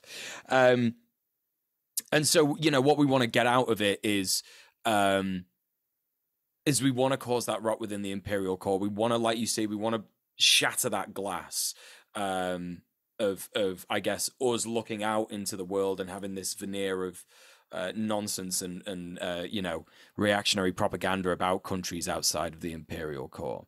Um, and so where where do you think we're at right now because you know when when we started uh, Red Planet uh, fucking 2 years ago now um, it was very much like we thought like are, are, we really the only people doing this? Are we really the only people trying to do like a show about direct action and uh, people actually doing organizing and stuff? Uh, but I think it's definitely progressed since then. So where do where do you think it's at? Like if we're talking about true like ethical leftist reporting like what what kind of stage are we at do you think? I think we we're in an interesting place because we are both nearing a tipping point and also at a time when working the media is about as hard as it's ever been. Um, you know, you see all these big media companies that are doing layoffs. You see a lot of big YouTubers that are basically quitting YouTube right now. Um, and that's happening for a lot of reasons. Um, you know, but basically you see algorithmically YouTube really pushing this Andrew Tate type of nonsense. You see this big reaction to what is happening. Um, and the reaction comes from two fronts. Um, one front is like obviously people are worried about like, oh my goodness, everybody's catching on to like, uh, you know, this whole like socialism thing not being like as bad as we said it was this whole time. Um, and then I another part of the reaction is a lot of people who sort of during COVID came to the realization of how messed up the world actually is, and then kind of got tired, and they're like, ooh, I'm a little tired of this. Like, yeah, climate change is dooming us all and capitalism is horrible and all of these things, but like that's like a little exhausting to be like focusing on all the time. Um, and so that has kind of led to like some big catastrophic problems within the media space. Um, and so it's it's one of the hardest times to be in the media, but also these ideas are a lot more popular, but also there's a weird backlash to these ideas. And then you sort of combine all of those and the question becomes, okay, well where does it go from here? And it's kind of put us in this interesting situation at least as we come up to the next election of the Republicans focusing on things that genuinely no one cares about. Their main issue right now is literally bullying transgender children. I mean, that's it. Their whole platform is built around bullying trans children. Um, to the point where, I mean, literally, you know, at least I think, right? Uh, you have big accounts on Twitter uh, harassing trans children and creating an environment um, where it literally led to um, uh, a young a young trans teenager um literally, literally like being killed right? Um and so we're in this situation where it feels like the right is getting smaller but louder and more dangerous. There's a growing faction of people who are tired and just want to care and pay attention less but then the people who do care and are paying attention more are kind of starting to catch on but there is still this fear, I think, that a lot of people have. There is still this fear um, that a lot of people have of like, well, what would socialism actually look like? What would it actually mean if the world were to change for the better? And a lot of people, I think, are genuinely afraid of it still. And so it, it's hard to balance these out. I mean, I still get called a tanky all the time by like random people on the internet, which is like really funny um, to me, but it's also kind of sad because I feel like even when it comes to like, you know, people who will say nice things about China, I'm not even anywhere near the top of the list. Um, and like that's just one of those things that it gets tricky, right? It gets tricky because the people who do care don't want to be written off as like extremists but the reality is, the situation that we're in is extreme. We are in a position where right wingers want to criminalize the existence of trans people and redefine womanhood to be so strict and narrow that it is quite literally putting many people's lives in danger, not just trans women. Because, you know, I hate to break it to, you know, everybody out there, but there are more clocky cis women than there are clocky trans women. Okay. Like, I this is just real. There's way more cis women than there are trans women, and like right wing's definition of you know what passes as as you know being a woman is so incredibly narrow and rigid that mo- like a lot of cisgender women don't meet that test either. Um, and so yeah, there's a lot of people whose lives are being put in danger, and so I think we're at a breaking point. I think we're at a tipping point. I think everything that's happening now, where we are in this stark position where most people are not believing the lie about you know the Israel Palestine uh situation where people are like you're calling it this conflict but it literally just like a one-sided genocide. Why do you keep just calling it a generic conflict? You see people like Joe Biden basically have no support um even from people who are going to vote for him because they don't want to support somebody who's going to put like trans people in camps or anything like that. And so I think I think we're at a breaking point and the volume has turned up on everything. The people who want to be apathetic are like like burying themselves in the sand.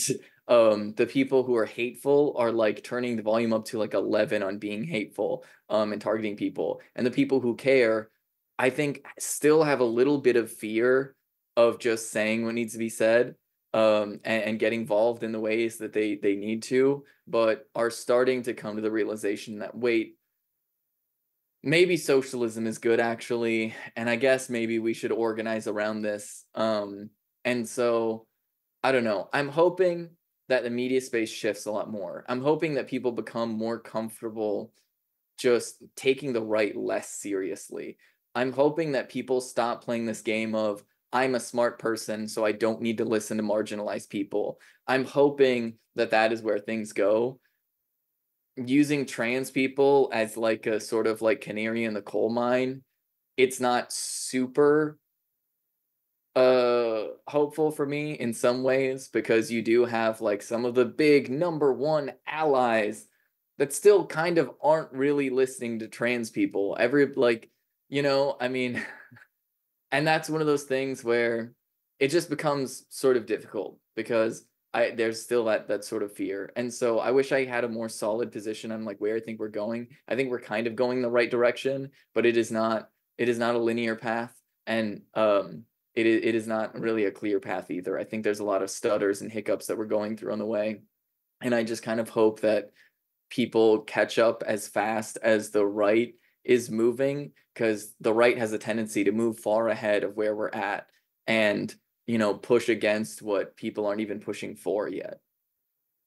I think that was a really good answer even though you said you know you weren't sure about it and stuff. I think you're absolutely spot on and i think um well, you know, like uh, we we were talk- I was talking earlier about like what you know the the ethos of Red Planet was always like you know we we have to seize the means of communication and we have to make people understand why socialism is good, why building socialism is good, why dismantling uh, systems that oppress us is going to be good, and not only not only good but possible, um, and and fun actually on on the way.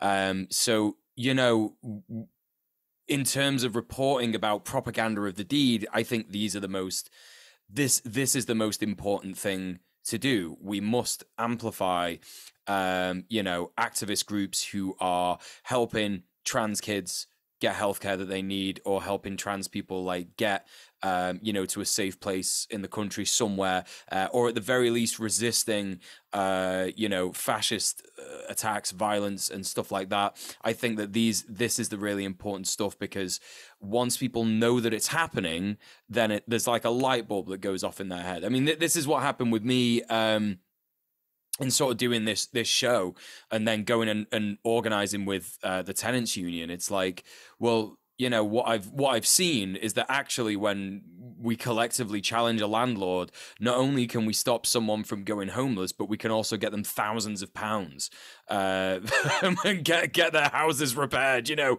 just by like applying a bit of pressure. And we're not even we're not even a big union you know it's uh, it's really interesting. I think that so at, at the, after the all member meeting yesterday with GMTU, I was speaking to some of my comrades, and um, we were talking about a town that is uh, in in the north of Manchester called Middleton, and it's actually like we're, we're in a really unique place in Manchester where we're not totally gentrified yet. They're trying to turn us into London. Um, and that's why we're resisting a lot of gentrification here. And um, so in Middleton, it is basically the same town that is all over the UK. Uh, and what I mean by that is it, it's majoritively uh, white working class people, and they're in social housing, they're in council houses, and there are also there is also an influx of migrants and uh, you know probably ex prisoners, um, you know other other kinds of people that are like sort of being uh, you know put into these areas because obviously that's where the system is, is going to put them and stuff. Um, and I think sometimes that's done like a little purposefully to to reinforce uh, right wing narratives about like you know migrants stealing our our homes and stuff. Um, and the the if we can if we can like actively report on successful tenant union organizing sorry tenants union organizing in those areas where we have a collaboration of migrants and white working class people where the white working class people go actually these guys aren't getting better houses than us and we have like a lot of the same issues um, and if we come together we can like challenge our social housing landlord and actually get a lot of results and then everyone's happy and you know we have a good we have a good life. Um reporting on those kinds of um sort of success stories as and where we we hear them i think are, are so incredibly powerful and, and awesome um, that that's where we have to focus a lot of what we're doing, uh, you know, in terms of reporting and stuff, because it's um, it's one thing to uh, you know break down these ideas, these ideologies, because you know it's very sort of like uh, ideology based. A lot of the reporting that happens, specifically on the right, you know what I mean. It's not very like well even liber- even liberal reporting it, it's it's uh you know it lacks materialism right? This is the this is the fundamental Im- important thing. Like no one is really talking about um how people should be paid more. When when when people are reporting on strike action they're they're just saying like oh these lefty communists they just want they, they don't want to do anything. Uh but you know the answer to that should be uh, well, doing nothing would be really great. Actually, and it's probably possible if we if we organize society to be able to like you know cater for everybody's needs.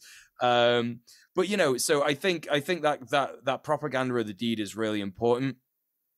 Um, and with that comes like these new types of reporting like i was saying uh you know you've got you've got like tiktok you've got individual streamers you've got individual influencers who are like uh you know changing the narrative around all all kinds of stuff. Uh, and of course like you know journalists on the ground in in in, in Gaza like this is this is a huge thing you know.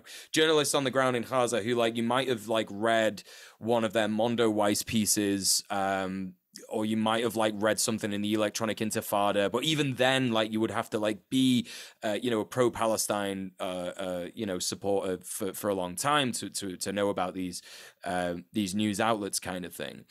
And just having that that variety in reporting capability has been so important uh, and so I think what we have to what we have to also think about now is like obviously we've got this stream, you know, we've got our, our own personal streams and we've got podcasts and stuff like that. But there's also there's also a lot of other things that that can be done, right? So zines, uh, you know, uh, graffiti is technically a form of propaganda, right? You know what I mean? And then you've also got um, art and culture that has um, these kinds of messages and this kind of uh, uh, propaganda of the deed message in that as well. So, uh, what do you think about like different types of reporting? I don't know if this is something you thought about before, and it's okay if you haven't, but um, you know, different types of of, of reporting. Um, like for example, you know, if if someone decides to like just make a zine and leave it in like a toilet in a queer bar or something, you know, where it's like not necessarily a radical queer bar, but like a bit lib, uh, you know. Well, honestly, okay, so like Oh, there's so many layers to this, but I guess I'll start from the position of there's something that is like that I call social truth, which is like a lot of people believe a lot of things but act in different ways because they believe in like a social truth. So for example, why does it feel like homophobia magically vanished between 2011 and like 2014? Well, because as soon as the Supreme Court made gay marriage legal, the default social truth became it's weird to be homophobic. Because there are a lot of people who behaved in homophobic ways and said homophobic things, not because that's what they actually believed, but because that's what they thought they were expected to say and believe. And so, what you mentioned with like graffiti and like random things like around town that signal one political view or another, that creates a social truth where if you live in an area and there's just kind of random stickers and you know paintings and um you know zines or like all these random things all this propaganda that's just like yeah socialism is cool. Yeah trans people are cool. Yeah all of these things. People will assume the default position is supporting trans people um or supporting palestine. Like for example you know like I've been to a lot of queer bars where there's like you go to the bathroom and all of a sudden there's like a bunch of pro-Palestinian graffiti all over the walls and it's like cool. I'm in a cool space and most people here are going to be supportive of Palestine and somebody is going to be treated weirdly if they say anything against Palestinians. And that's just like good on its face. And then to tie it into it's because it's very related actually to what you're talking about with the stories of like, you know, uh, forming attending, uh, tenants unions and, and getting one over um, on these like landlords and stuff it is a way in which people feel powered. Because honestly one of the first steps to like becoming empowered as like working class people is you have to feel empowered first. If you don't feel empowered if you feel helpless you're not going to do anything. And so quite literally doing things that like laughing together at rich people, laughing together at these politicians, laughing together at these journalists who are dishonest in their coverage because they want to give credence to the right. Laughing together at them is a way to make people realize they're part of a community and feel empowered um, in order to get engaged. And so telling people victory stories of tenants unions is a way for people to you know feel empowered and and sort of laugh at people in positions of power. And the same thing with the graffiti. It makes people who have these beliefs who do actually want to do and say the right things it makes them feel more empowered to do so. Um and that is kind of where like you know i'll say virtue signaling actually has a certain degree of value because the more centrists feel like they have to support trans people because that's the popular thing, the more people who actually support trans people will actually be willing to say it and be upfront about it. The same thing with like people who support Palestine. There are a lot of people, right, who were very displeased with the way Israel has been treating Palestine this whole time, but were afraid to say it. They knew what the right answer was, but they were afraid to say it because they're like, oh, well, if I criticize Israel, then I'm going to be called an anti-Semite. And just look at, you know, years ago with J- Jeremy Corbyn and the way that that happened, right? And so, like, so like this is one of those things where like changing the social truth allows people who are already believing the right things to actually say it because the truth is more people understand socialism than they realize. More people have like an understanding of capitalism than they realize. More people understand oppression than they realize. It's just they need to be given permission societally to say it. And so that's where like shit posters laughing at people in power and people forming tenant unions share that commonality of getting working class people to realize that we are collectively empowered and the people who are spreading like racism and misogyny um, and imperialism and all these things are actually a very small minority of people. They just happen to be powerful. And we actually collectively are more powerful than them. We just have to feel it first. And so that is where i think a lot of the reporting should focus on is making people feel empowered and willing to laugh at these people and not feeling the need to perform intelligence, right? Because ultimately, smartness or intelligence or whatever you call it is a performance that people play to cater to white supremacist patriarchal norms. It's not actually you know oh somebody truly being a brilliant mind it is a it is a performance. Same with the uh, affinity toward like rash being rational and being correct. It's not just intelligence as a category like it's also a specific form of intelligence that that is that is uh, value by white supremacist patriarchy. And you were talking about this earlier with this like it's it's actually really funny how it demonstrates itself because it's it's both trying to show itself as rational but also rejecting the basic truths of the world that we see. And it's a really it's really amazing when you see those contradictions very sharpened. And we're seeing those contradictions sharpened like uh, especially with like israel uh, israel's war on gaza we're seeing more and more like the painfully clear evidence of what's going on and how these so-called rational actors these like fence straddlers that like to think of position themselves as like the arbiters of of logic are having a really hard time continuing to play that role.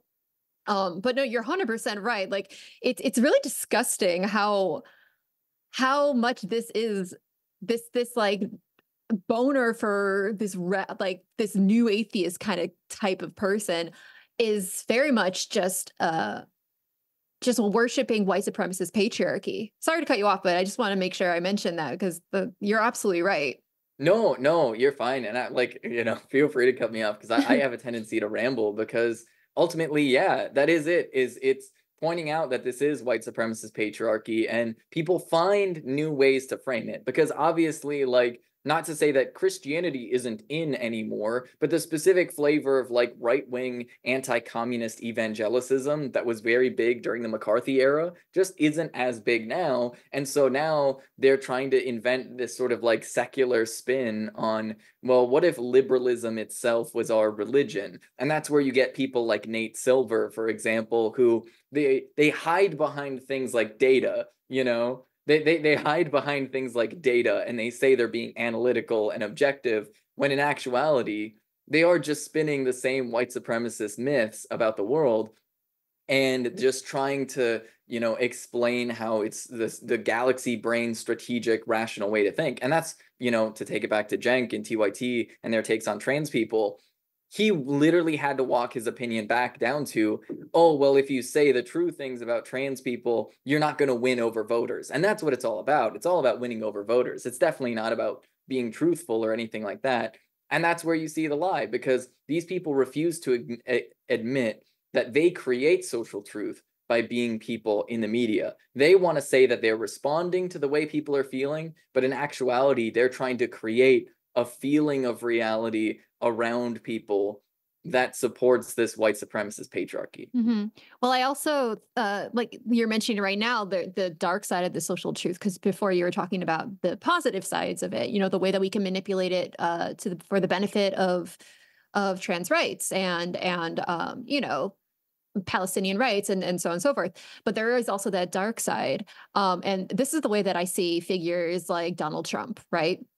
Um, Trump's presidency was really harmful, not specifically for his policies, because his policies were fucking horrible, right? But Biden's continuing those policies, and those policies are bad. But I still think that Trump has a certain amount of harm associated with him that's above and beyond someone like Biden because of the normalization of so much bigotry that that he was able to um, create because of his position being you know having a loudspeaker to his mouth effectively. And the way that i always thought about it was like like okay so like pretend you're in class and the teacher has an assignment that's there's like this big project that's due on friday and it's thursday and you don't have it done yet and you're panicking. You're panicking you're panicking but you don't say anything about it because you feel like it's your it's your particular shame it's your particular burden that you have to deal with on your own but then imagine somebody else in that same class stands up and goes, Excuse me, um, I actually have no way of finishing this project by tomorrow. I'm like really behind because of other assignments that you've been giving us. Can we get an extension? Now all of a sudden you feel way more empowered. Like I also would like to have an extension if that's okay. And all of a sudden everyone who's behind feels way more empowered to stand up and say something, right? Because now you have that that that kind of community effectively that has just been created with the shared you know vulnerability that you have this shared burden. And while that can be really powerful in helping to make people feel liberated in good ways i think that that liberation can be very harmful when it's when it's something like you know the liberation you feel when you can finally be racist to the people that you've been wanting to be racist to or, whatever right? Like so that's why i feel like figures like fascist figures uh and by the way, this is not me endorsing Biden as president. I want to get extremely clear. I'm not trying to say that everyone should go vote for Joe Biden. What I'm trying to say, though, is that I do think there's a certain harm associated with certain figures having a lot of uh, having a substantial platform and it's it's and they have an enormous amount of power and they do create those truths and they can help make they can help to liberate really bad things and help to embolden really bad things and help to oppress the things that we're trying to actually promote, like trans rights, for instance.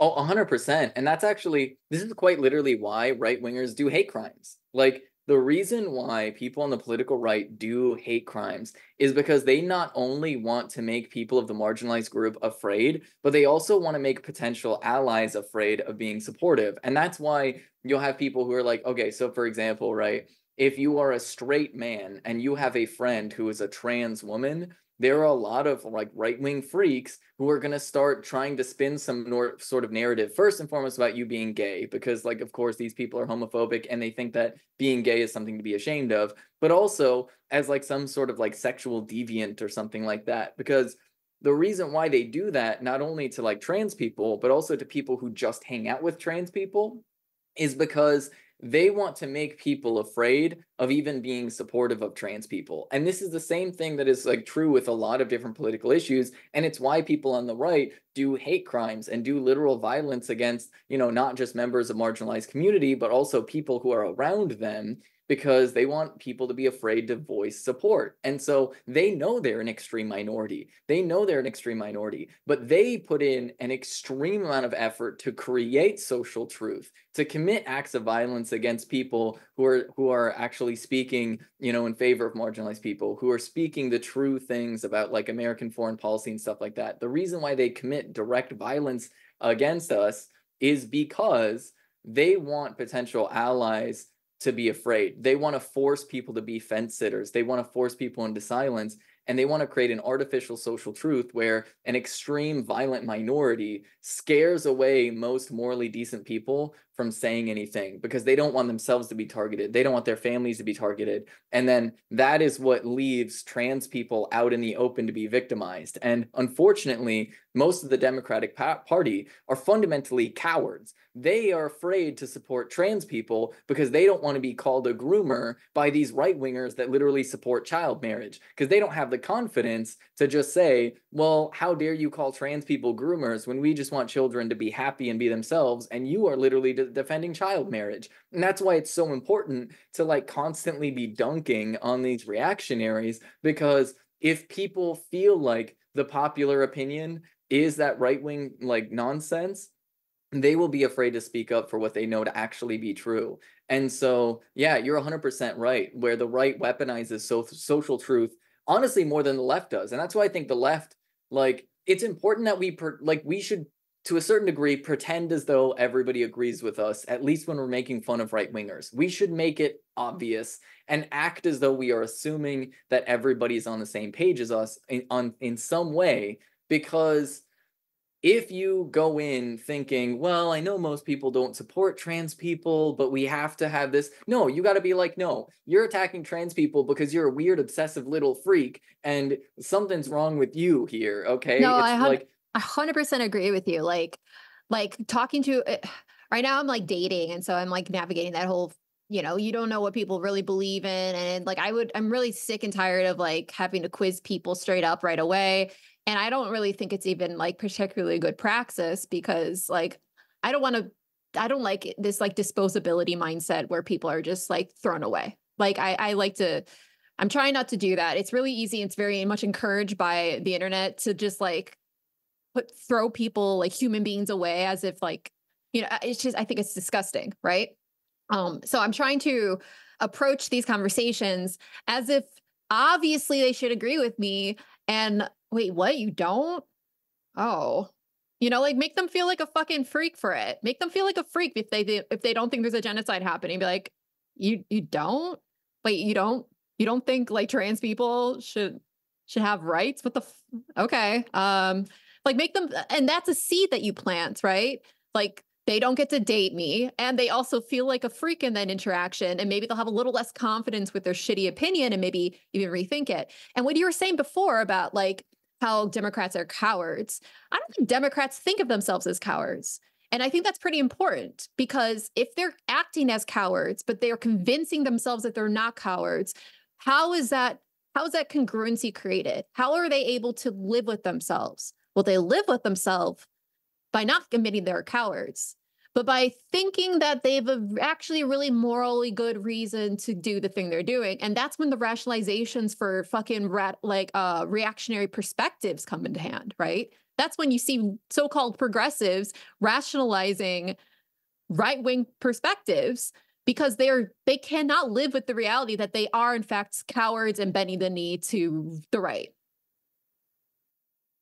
So yeah, I 100% agree with you. You're right again. 100%. A and plus. it's I don't want to I don't want to denigrate uh well what's the word I don't want to I don't want to offend my mother on Mother's Day but we were talking about this literally before the show about so some of her more um economically conservative positions. Like she was trying to say to me that, like, oh, uh, this Tory MP was uh, saying that there are the people aren't having children anymore, and it's because people uh, uh aren't going to work when they're sixteen. And I was like, I just laughed at her. I just like that, that. I just couldn't actually help it. I didn't do it on purpose. It was like this is just so reactionary and incorrect. And she got so mad, and she does normally get mad. She she just she was just like uh, you know, oh, of course you're right, I'm wrong, and I was like, yeah, I am. Like, like, what do you want? What do you want me to say? Like, this, this is it. Um, but yeah, no, I agree wholeheartedly. Yeah. They want to engage in like a like the the stuff that that happens after that is that they get offended that that you thought that their position was ridiculous and then they try to force you into a discourse that makes it seem like they are actually reasonable. And so the the thing that they'll do typically is they will then default to a so are you saying that they're that that you're not in the middle somewhere? Like they try to pull you into that center position in some way because that helps to make their position not seem so laughable right? And if you just continue to laugh i i personally think that that's a great position to take Oh, 100%. And especially when it comes to like very basic things, like I don't think anybody should be homeless, right? And like there are a bunch of people that will like react to that and start like, you know, spiraling and like talking over themselves and I'm like, "So you're you're trying to justify why you think some should people should be homeless. Like tell me about the people that you think deserve to be homeless. I'm so curious about this, right? Because I don't think anybody should be homeless. And then they start like rationalizing. And I actually had this happen recently where somebody was like, oh, but if we had universal housing, what if one of your neighbors is like causing a ruckus and making noise all the time or like destroying the property or something? And I'm like, I've got news for you that already exists, right? Having a for profit housing system doesn't get rid of that. So you're going to have bad neighbors. Uh, we live in a society the world exists, other people exist, you know, we're not in the Sims. So I know I don't think anybody should be homeless. yeah, it's also not like so they're making a lot of noise, so therefore they should absolutely be be homeless. Right, like, right. The connection there's eh, this is so classically liberal. Like it's so funny, or, or not even liberal. It's it's just reactionary, and liberals are included in that. But it's so funny how they like try to come up with these like little these little edge cases, but then you like go, that still doesn't justify the thing you're saying. And and here's the unique thing, right, about socialism and what it could enable us to do. And we have to plant those seeds of like what a wonderful world socialism could be. Because imagine a reality where you're not worried about engaging in that conflict resolution with your neighbor because neither of you are worried about getting evicted right? Like imagine that like, you know, mental space for you to be able to be like, oh well actually I could get to know my neighbor um in in like a a, a very nice friendly fashion because uh none of us are going to get turfed out for for not being able to afford rent. None of us are going to get turfed out for uh you know whatever. And and who knows what kind of structure that that could that could entail like you know yeah if you have a neighbor that you don't get along with because they're i don't know playing loud music or something then maybe you could like say yo i i, I want to apply for like a house in the old people uh, block, right? You know, I, I don't, I don't want, I don't want to hear the, the loud music, and then someone else who likes loud music could go and live there, and it's like, wow, all these problems actually just get solved with socialism anyway. So, shut up, you know. You think only old people like quiet? It's interesting. I'm old. I'm old, and I love quiet. I don't. I don't know what you're on about. Ancient.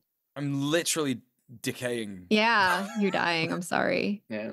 Rip. But you have touched on, you see, this is why it's impossible, okay? Because Americans' greatest fear in the world is talking to their neighbors, actually. And so uh,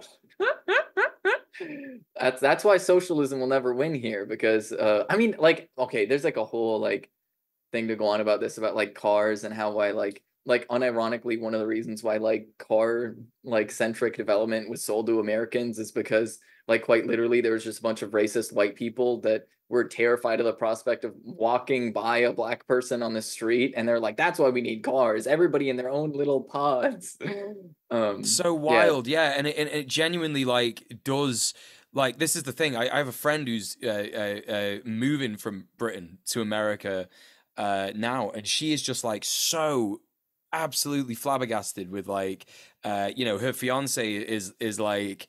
Oh, uh, we're gonna go down to see uh, my mum, and she's like a, a I don't know, like a seven-hour drive away or whatever, and it's just kind of like, okay, yeah, so they don't have trains, right, and that would solve that kind of issue just like already. Uh, but then she was saying that, like, oh yeah, so we went to go and see his mum, and then on the way back, we were stuck in traffic for three hours. So we had like the seven-hour journey and then a three-hour traffic jam. And I'm like, how do you even live? But it, it's literally because it's it's you know it's that uh, what do you call that consolidation of like uh, you know, car companies wanting to make more profits, uh, and also like, yeah, keep everybody apart. Like, if you have your own little personal uh, little tank that you could use to to get around and escape having to have social interactions with everybody, then yeah, that's really cool. Um, yeah, no, that makes so much sense, honestly. I hate car culture so much. I really, really I genuinely do. think we should abolish cars. I wasn't actually a believer of abolishing cars until I played um, Half Earth Socialism. If you've not played it, go and play it. It's free. It's really good. You could even play it on your phone. Um, and there, there was this just this one bit, and it just said abolish cars. And I was like reading a bit into like the ideology of uh, well, not the it's not really an ideology. It's kind of it's materialistic. It's like okay, well, what would we benefit from abolishing cars it's like well if we had systems of public transport that were like accessible especially to disabled people then you know cars would just be obsolete. So you know it just kind of makes sense if that's the, the the direction that we're going in. Not only that but like cars make it so in order for you to it's like a pay to play for for life in such a profound way where so much of our landscape is dedicated to to car transport meaning that in order to interact with so much of our environment you have to pay money. You have to pay a hefty fee and continually pay a hefty fee and have a little mini miniature house for that little vehicle too.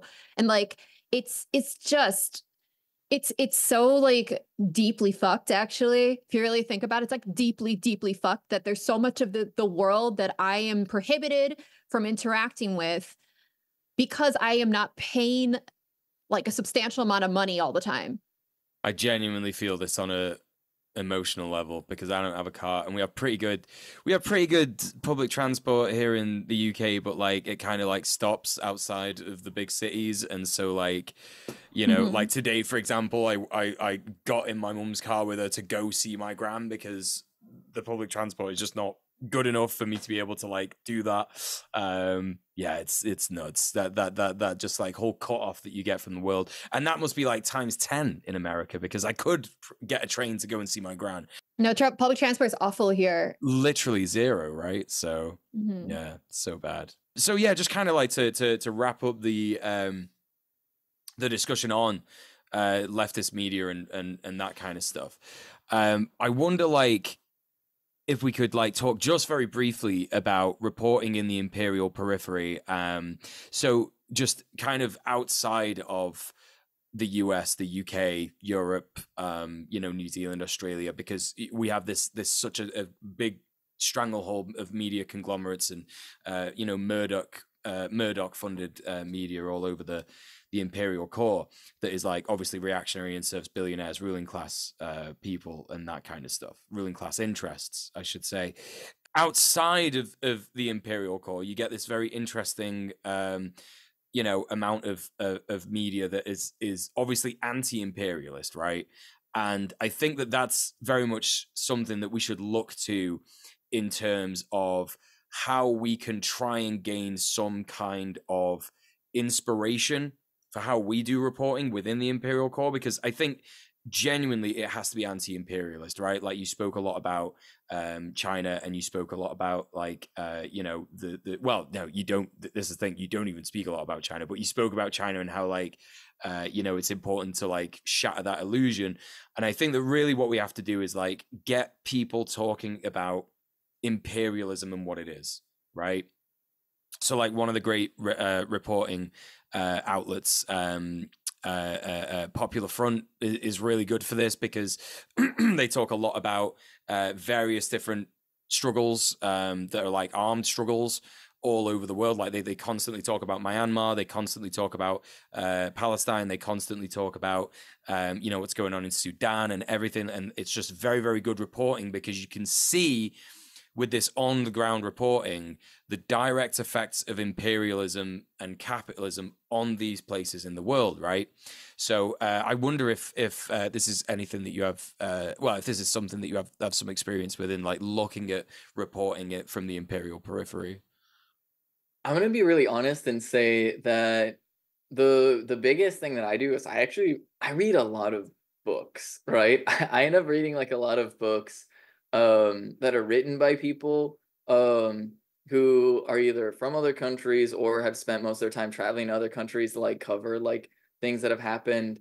Um, and I feel bad because it's been a hot minute since I like I oh shoot, I'm trying to remember the name of that book that was written by that guy that went to a bunch of countries that were the victim of like like extreme anti-communism and like the the different anti-communist purges um uh basically around the world and but I don't know there's like great authors like Vijay Prashad and stuff like that um who do like a, a bunch of like analysis and historical stuff so that whenever I read news I read it through that context. The main like foreign press that I read is I read like a lot of like Chinese like newspapers and like Chinese uh like YouTube videos and stuff um mainly because they are it's really big and despite what a lot of people feel about it it's like PBS, right? Like CGTN feels like PBS where it's all very dry. Um, but that's that's kind of what I like. And so unfortunately, it's it's been a few months since I've like really dove into like various foreign presses. Um, but I think there's a lot of value in like reading books and getting like cultural context and history so that whenever up to date news does happen, you have like a more in depth background on what has like happened in like all these different countries around the world and you're not surprised to like hear that like oh this country exists. Um and so yeah i don't know. Unfortunately i kind of depend honestly on people like you retweeting things that i i will see in my feed um as a as like my source for like news around the world. But especially like i don't know watching like small leftist podcasts that will like interview people um from like peru for example um when they were going through the the whole like um like tumultuous moment that they went through uh a year or two ago. I don't remember exactly when that was happening. Um and then like you know people were talking to people who are actually like in venezuela people were talking to people who are like in all of these countries around the world um honestly and it's just like a lot of random like small youtubers that just do these like interviews and it's really cool and amazing to see um but i wish i was remembered like better at remembering people's names and like names of these different outlets I, I'm the same way. I always feel so bad because people are so good at like rattling off all these names. And I'm like, that sounds so smart. Sounds so smart when you can rattle off all these authors. And there's just me, I'm like, I read a book one time and I can tell you what's in it. I can tell you the things that I read but like I can't I'm not good at reciting names and now I, I feel like I've lost like a power with that cuz people that can recite authors they go like that's like a smart look. Yeah, for sure. Well, I think uh, the, the, like the the important takeaway um is really like it's everything that we said everything that we've said today about like trying to trying to tell people that there is a life after capitalism and you know i think that it's really pertinent what you said about the right becoming very small but also very loud. Most people just want to like have an okay life i think. Like that that is generally like the the entirety of um you know um um most people's wants and needs. They just want to have an okay life. They want to have their needs met. They want to be able to uh, live a life free from discrimination and whatever. It, it, and and I think that it, the best way that we can that we can serve capitalism like being destroyed uh, well just sort of destroying itself really because it's not sustainable um, and and serve people wanting to know how to how to live post capital is by reporting on places like you said, like like you know China, uh, not necessarily amazing, not necessarily what like everybody wants, but good in a lot of ways. Uh, you know South Africa, same story. Like Cuba, same story. Vietnam, same story. Uh, and you also got like a lot of other a lot of other places. Like you got like the autonomous region in Mexico, the Zapatistas. You've also got the Nicaragua uh, autonomous region that I didn't even know existed until like a few weeks ago. Um, you know various different places, the Rojava uh, uh, autonomous zone as well. Like these are all places where people are like just living uh, uh, uh, according to the values that, that we all talk about. Like they're doing anarchism, they're doing communism, they're doing, uh, you know, like actual humanity and and trying to be, you know, sustainable and as, as sustainable as possible. So with that in mind, let's uh, let's launch into some questions. We don't have many, but uh, we got some. Uh, Kira, do you want to do the the the first one? Sure. Um, the first one's from Matthew Walawenko. Uh, he says, "Does the panel have any kind of leftist content that they think is not being made or is currently lacking?" So this is, I guess, this is kind of two different types of content, and it kind of exists, but not really, and I want a lot more of it. Um, like, like, basically, one of them is a specific flavor of TikTok that I've seen a bunch of, which is basically like, oh, I found out this really cool thing that it like empowers people against landlords. And I there was a TikTok I saw fairly recently where somebody was explaining the like housing authority um that does something with um in, in New York City about like the rent controlled apartments and there's a housing authority that like keeps track of rent controlled apartments and they found out through that housing authority that they were overpaying their rent and that their landlord was lying to them. Um and so like content like that that shows people tools that already exist to empower themselves because that woman ended up getting thousands of dollars back from her landlord uh, and her rent got reduced by a couple hundred dollars a month. So things like that that are empowering. And then like little like mini docu series about people who are forming tenants unions like literally just like have somebody with a camera uh have somebody with a camera that's like there while things are going like you know through and just put on like a little like 20 minute youtube documentary about this is the actual nitty gritty details of like how we form this tenant union and like obviously don't release it until after y'all have done the successful action because you don't want but like you know after the successful action happens put on the documentary and be like this is how we did it here's the interviews with the people here's how we feel about it and give people some of those like feel good moments of like oh, you know, this is what we did and th- this is how we did it. Um, and now we feel really empowered and this feels really awesome. And like little stories about like small victories that people have had because there's not enough stories highlighting people's victories. And I know it's not clickbaity, I know it's not like a super big thing, but like the more we can give a little bit of attention to the people who are doing the effort to win these small victories, I, I think the better. Okay, I got to hold my hands up I got to hold my hands up on this because this is like th- absolutely what I should be doing with the tenants union. And like, I, I threw myself into like member solidarity. Um, and it is something I'm planning on doing. It is something I'm planning on doing is doing more like actual comms work. But I wanted to sort of like open um the the the possibility for like other members to do that kind of stuff. But you're so fucking right. Like it, that shit is is so so important. Like that's that prop- propaganda of the deed. Um and i do think it's clickbaitable honestly. Like you could like a like a title like uh like we made our landlord pay five thousand dollars or something like that. Something that that's very like I don't know, something that flexes super, super hard in a way that a lot of people are like, I really would love if I could make my landlord pay me five thousand dollars or something yeah, like it that. It should almost be a little smug. Yeah, it should almost be like, oh yeah, how I got one over on my landlord by forming a tenants union, kind of like, yeah. Literally, landlords hate this one weird trick. Yeah, yeah, yeah, yeah, yeah, for real. So important.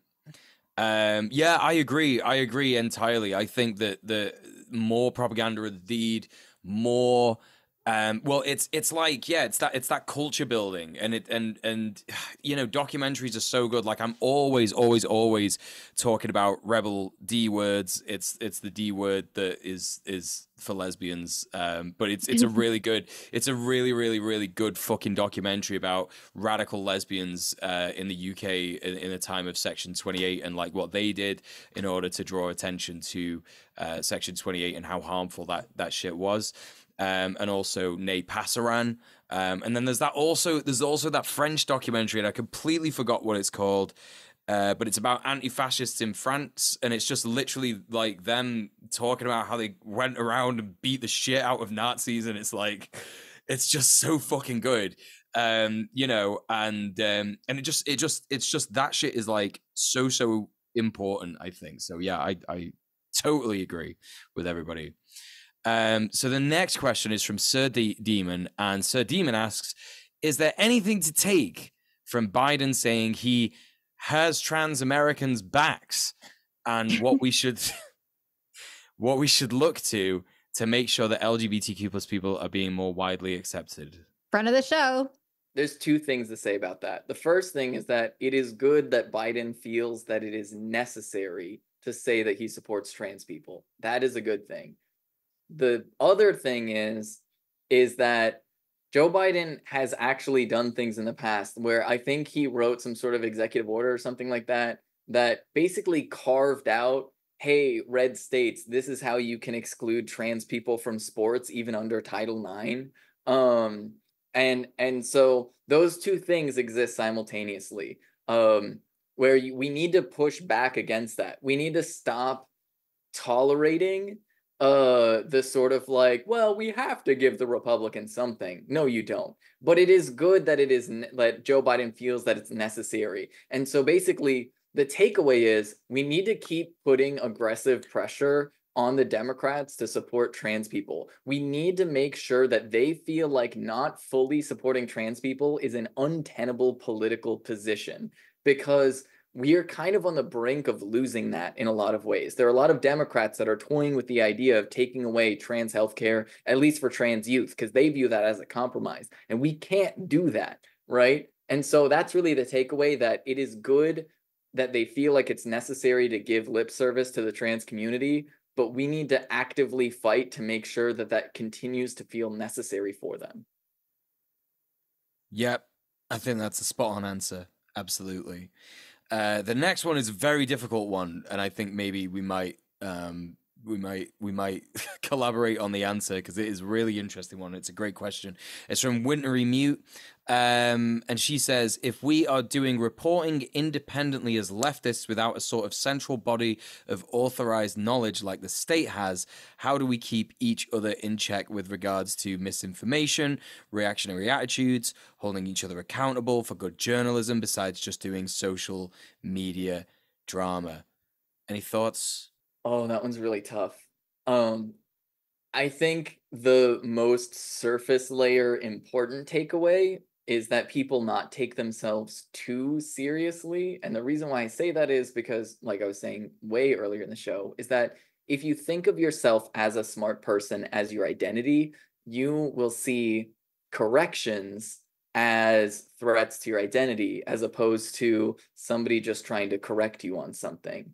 Um, tying that into the draw of like doing the clickbait because like the reason why the debate bro streamers like explode so fast is because all of their names become keywords algorithmically and the more they mention each other the more attention they're going to get.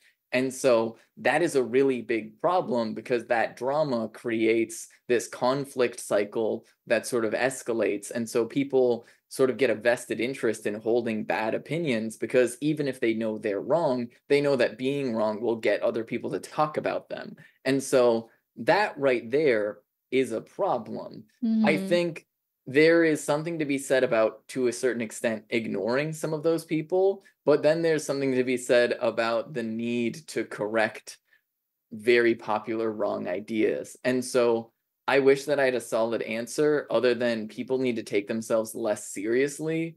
And I think taking people down a peg when they are taking themselves too seriously, when they are playing the game of I'm a strategic galaxy brain and you don't have as good of takes as me, um, I think that is in general good, but this is this is fighting the algorithm at this at this point. You know what I mean? Yeah. Yeah. Um, well, I don't know what debate bros are. I've never heard of them, and they, they sound pretty bad though. Um, so I've got no experience of that. Um, but what I what I do know is that I think that if we're if we're gonna think so, you know what what we're what we're planning on doing, what what the idea of like seizing the means of communication is is about is about um, we're organizing together, right? And as leftists, there are truths that we hold to be self evident and those truths are like quite simple, actually. It's that we want a society where everybody's needs are met and people are not being discriminated against, right? Um, and I, I think it's as simple as that. Like if if we're opening any kind of door for uh, reactionaries within whatever uh, you know we talk about and whatever we report on, um, then that of course needs to be addressed. But I think we solve that by uh, collaborating. And I think we solved that by making it a more collective process because at the moment, what we've got is like everybody just like in their rooms uh, with their cats going behind.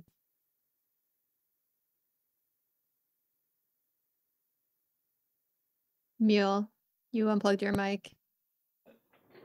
Hello, hello. no, no, I didn't. It was my cat that did that, and I was literally just saying, "Yeah, everybody, every okay. So you know, so you know, what we have at the moment is um, uh, uh everybody in their uh, uh, uh, you know, in their bedrooms, like, you know, doing this stuff with their cats going behind the fucking computer and turning their shit off.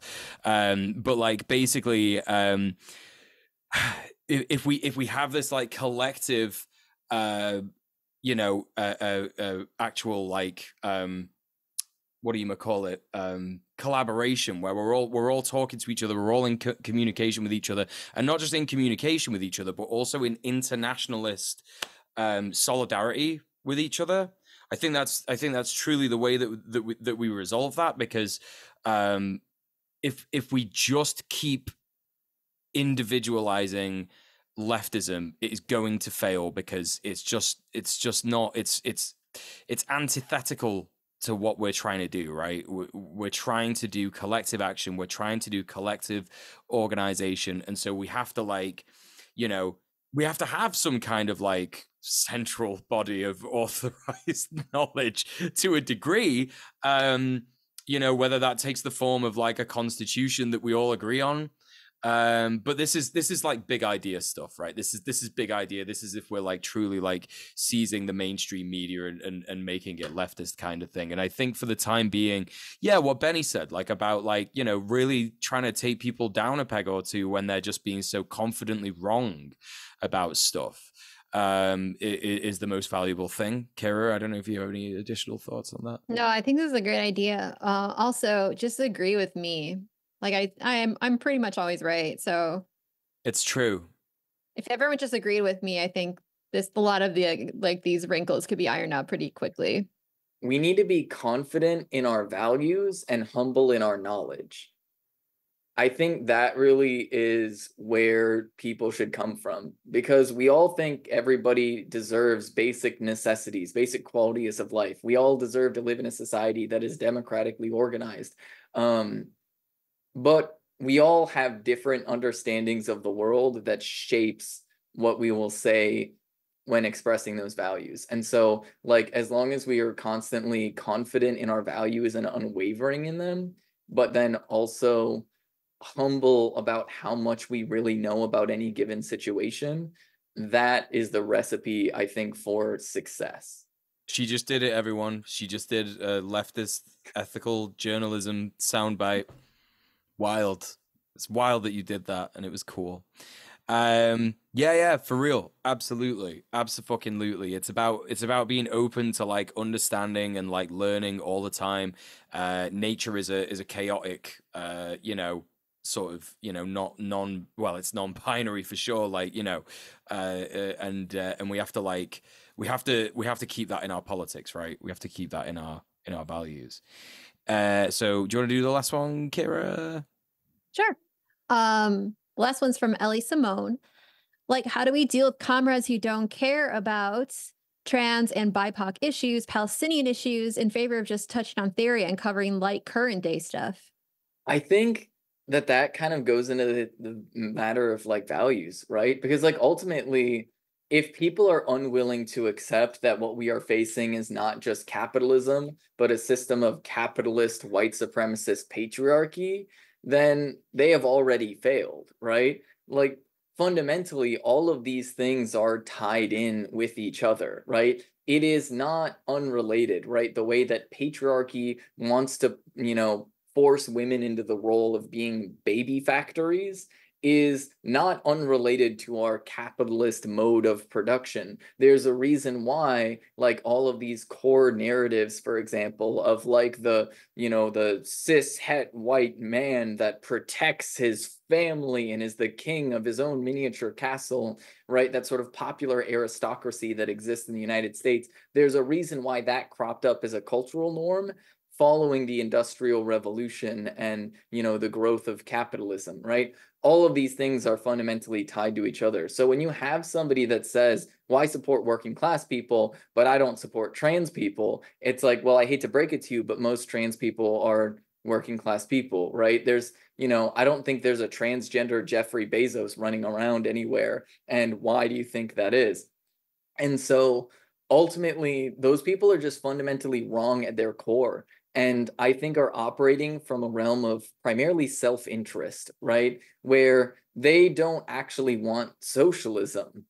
What they want is like what something like what Norway has, right? Where if you're a marginally privileged white person, you're going to be comfortable, right? If you're if you're on a relative scale like privileged, you're going to be comfortable and fine and everything is hunky dory for you. But, you know, don't think about, you know, the people working in factories like to give you all your clothes and your cell phones and don't think of the children, you know, working in mines or like, you know, um uh like uh oh what's it called? Like chocolate farms and stuff like that. Like don't think about that. And so like like that's kind of where those people sit right? That's kind of where those people sit um where they don't want to acknowledge that other people exist in the world and everything they're doing is based out of self-interest. And so usually those people are very willing to embrace right wing economic ideas, but whenever they're actually challenged on their like views on on marginalized people. And so that's kind of like my take is that a lot of them are just dishonest. And i think it's it's it's just so unbelievably funny because you're right like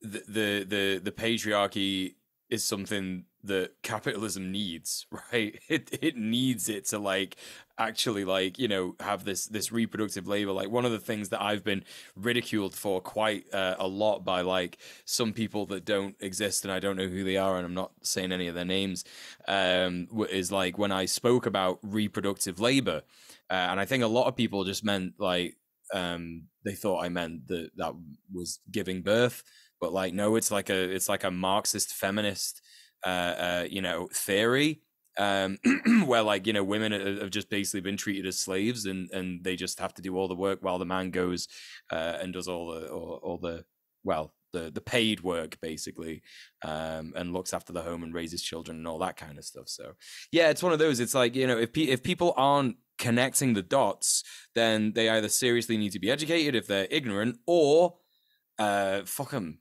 because they're fucking fascists really aren't they? So that's that. I agree. Kira? Yes. All right. Well, that's that. See you later. No, I'm joking. Bennie, thanks so much uh, for coming on. It's been really, really good. I'm so I'm so glad that we uh, that we chatted about this stuff.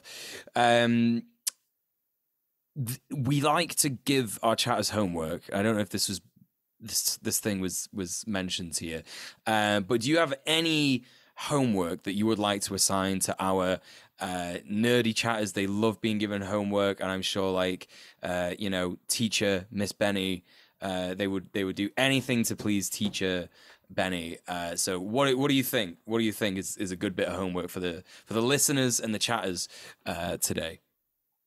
I would say try to find like a small success story of people organizing in their communities whether it be a tenants union or like a workers union or you know something some type of like small success story that feels empowering and share it somewhere right?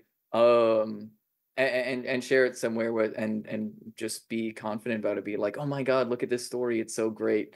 Um i would definitely love to to see the stories that people find um and you know like I don't know. If you like send it to me, I'll I'll probably retweet it or something. that rocks. That's really really good. Uh, give us all your plugs. Where can we find you if we want to see more Bennie? Uh, yeah, follow me on Twitter at bennie.gay, also on Twitch at bennie.gay, um, and then on Bluesky at bennie.gay. Um, on Bluesky, it's bennie.gay and it's not the dot is not spelled out, but on Twitter and Twitch, the dot is spelled out. Excellent. Thank you so much for joining us today, Bennie. It's been an absolute pleasure. Yeah, it was great to be here. uh, right. So that was the show. Wasn't it good, everybody? Everybody really enjoyed it. Everyone listening, everyone watching. It was interesting. You were right. The conversation was interesting. I shouldn't, I sh- should never have said anything. I mean, I didn't doubt it, but I just, you know what? I, I should lean into the self brag more. We got we got to boost our. Uh, wait, I thought you were saying that purposefully so that I could lead into the. Yes. Now now I'm now I'm um. Why am I doing this? Anyways, if you would like to pay us give us money. Uh, more of this stuff. Whoa. Oh, you could you could support Red Planet by being really cool and going to patreon.com forward slash red underscore planet. Um, and there are various ways to do this. And uh, as soon as I bring up the, I can hear you typing. I definitely didn't just type in uh, patreon.com forward slash red underscore palnet. Um, uh, uh, I will tell you what That's the, the mirror universe version. you, you give them money to to hurt us. Um, you can support us. You can support us from as little as uh, uh, two pound a month. Oh my goodness! Get started with your re- support for Red Planet by becoming a sprite. It's two pound a month, and benefits include the sacred and forbidden knowledge that you're helping the Red Planet team, such as our producer Conrad, who is absolutely incredible, and our editor. Um, that has given so much space to Conrad to to be able to produce the show better. Oh my god, could you imagine? Incredible. Um, but also, you get early access to VODs and access to the Red Planet Discord, which is a really cool place to be. And I can tell you that for a fact because that's I, I'm in there. All of this for just two pounds a month and or two dollars a month. What a deal! All of that. What a deal! What a deal! And you can get even more with the next tier, which is Kira. Oh my goodness, you're right. It's Goblin mode for ten dollars a month or eight pound fifty. She's right. Everyone loves a goblin. You'll get a little goblin mode from time to time. Complete your gobology by going goblin mode with everything from sprite mode and a cool pack of cool Red Planet stickers for you to stick in legal places and only in places like that, and access to exclusive Red Planet Discord hangouts. So the first sprite mode gets you into the Discord, goblin mode gets you into the Discord hangouts. But Muel, what if I want to? What if I'm feeling a little like like I want to eat food out of like a cat bowl in the ground. I'm feeling that kind of energy. Uh, then you can run for uh, public office in Rochdale. Anyway, uh, so yeah, this is beast mode. Oh wow, that was a really uh, uh, uh, unique joke that I made there. I'm not sure anyone's gonna get it. Anyway, it's beast mode, seventeen pound a month or twenty dollars a month. Holy shit, are you gonna go actually beast mode? Then well, we can offer you all the stuff from the lower tiers and pin badges. Yeah, pin badges. I don't know why anyone hasn't changed this on the Patreon page, but it still is surprised that yeah we're doing pin badges. Wear your excellent new Red Planet pin badge everywhere, literally everywhere. It's completely cool and good to do so. And listen, Kira, the the the the privilege falls on you this week to tell everybody about the final, the penultimate tier uh, that really is truly for just some of the most uh, deviant Red Planet supporters. They're uh, they're absolutely uh, uh, just full of Red Planet trivia. Like whenever anyone brings up Red Planet, which is never uh, because we're a really small show and not many people know about us, they're just bringing up all the stuff that they know about us, all the hosts, everything. Uh, what what what can we do for them? What can we do for them, Kira? Mean, like the real real perverts about it. Is that what you're saying? Uh, okay. We have a mode for them, actually. It's called sicko mode. Whoa! For a hundred dollars a month or eighty-five pounds. She's spawned. She's spawned. If you support us this much, we can only really reasonably offer you all the stuff from the lower tiers, plus a very special thank you message at the end of every stream. So, JBP, Queen Pib, Cassie Tastrophe, and Risk Inverse. Thank you to our absolutely perverted sickos. Thank you so much. I we deeply appreciate your support. We do actually, yeah, genuinely. Thank you so much for supporting our show. It means the absolute world to us. Uh, but Kira, listen, uh, what, what, where, how, why more Kira chats? Give it to me. How do I get that? Well, I am uh, going on an extended sabbatical or maybe even permanent leave. I'm not really sure what's going on, but if you still want to follow me around and, and, and spot me in the event that I do show up again, um, you can check out my link tree, linktr.ee slash Kira chats. Uh, join my Discord. It's it's a very active Discord. It's discord.gg slash Kira chats. And um, yeah, all my social media is on my link tree, so you can go check that out. Don't check me out on Twitch because I'm banned there. Whoa, that sounds really shit. Uh, and Twitch, f- fuck them. Yeah. That's what I got to say about that. Well, where can I find you, Muel? Well, you can find me on Twitch, uh, twitch.tv forward slash DJMUEL. Uh, Solidarity? Uh, what? What? Solidarity, uh, yeah, you know, uh, no, uh, but no, I'm, I'm on linktra.ee forward slash uh, forward slash DJ M U E L. I stream on both Twitch and YouTube simultaneously, so you can find me on either of those. But also, I make video essays. I make videos on YouTube. Uh, please go check out my most recent video. It's about AI and how AI kind of uh, could just be like destroyed by communism or turned into something else uh, more useful and good and fine. Um, but yeah, no, uh, uh, th- that's that's that really. I got a Patreon. You could go on my Patreon and you can check out like uh the the the the new video that's coming up very soon and i'm not going to say too much about it and that's not just because i haven't written it yet um it's it's also because uh you can find that out on the patreon it's paywalled Is it about me? Yes it's all You're about finally Kira. gonna do a, a Kira tribute for her her her wonderful jokes and her kindness. i'm gonna do a yeah i'm gonna do a video that's gonna She's it's so gonna funny and nice. yeah it's gonna make all the people who said that i'm a white knight for you and uh, all i'm interested in is having sex with you, they're going to be like, "Yes, we were right." Um, so yeah, that's it's not it- this. This isn't happening, by the way, just in case anyone any, anyone's uncertain Isn't and not able yet. Y- yet. Exactly. Yeah, this is the you know, it will never happen if you don't give Muel money. That's for sure. If you give him money, it will ne- it will be a possibility. Mm-hmm. So, what's your Patreon?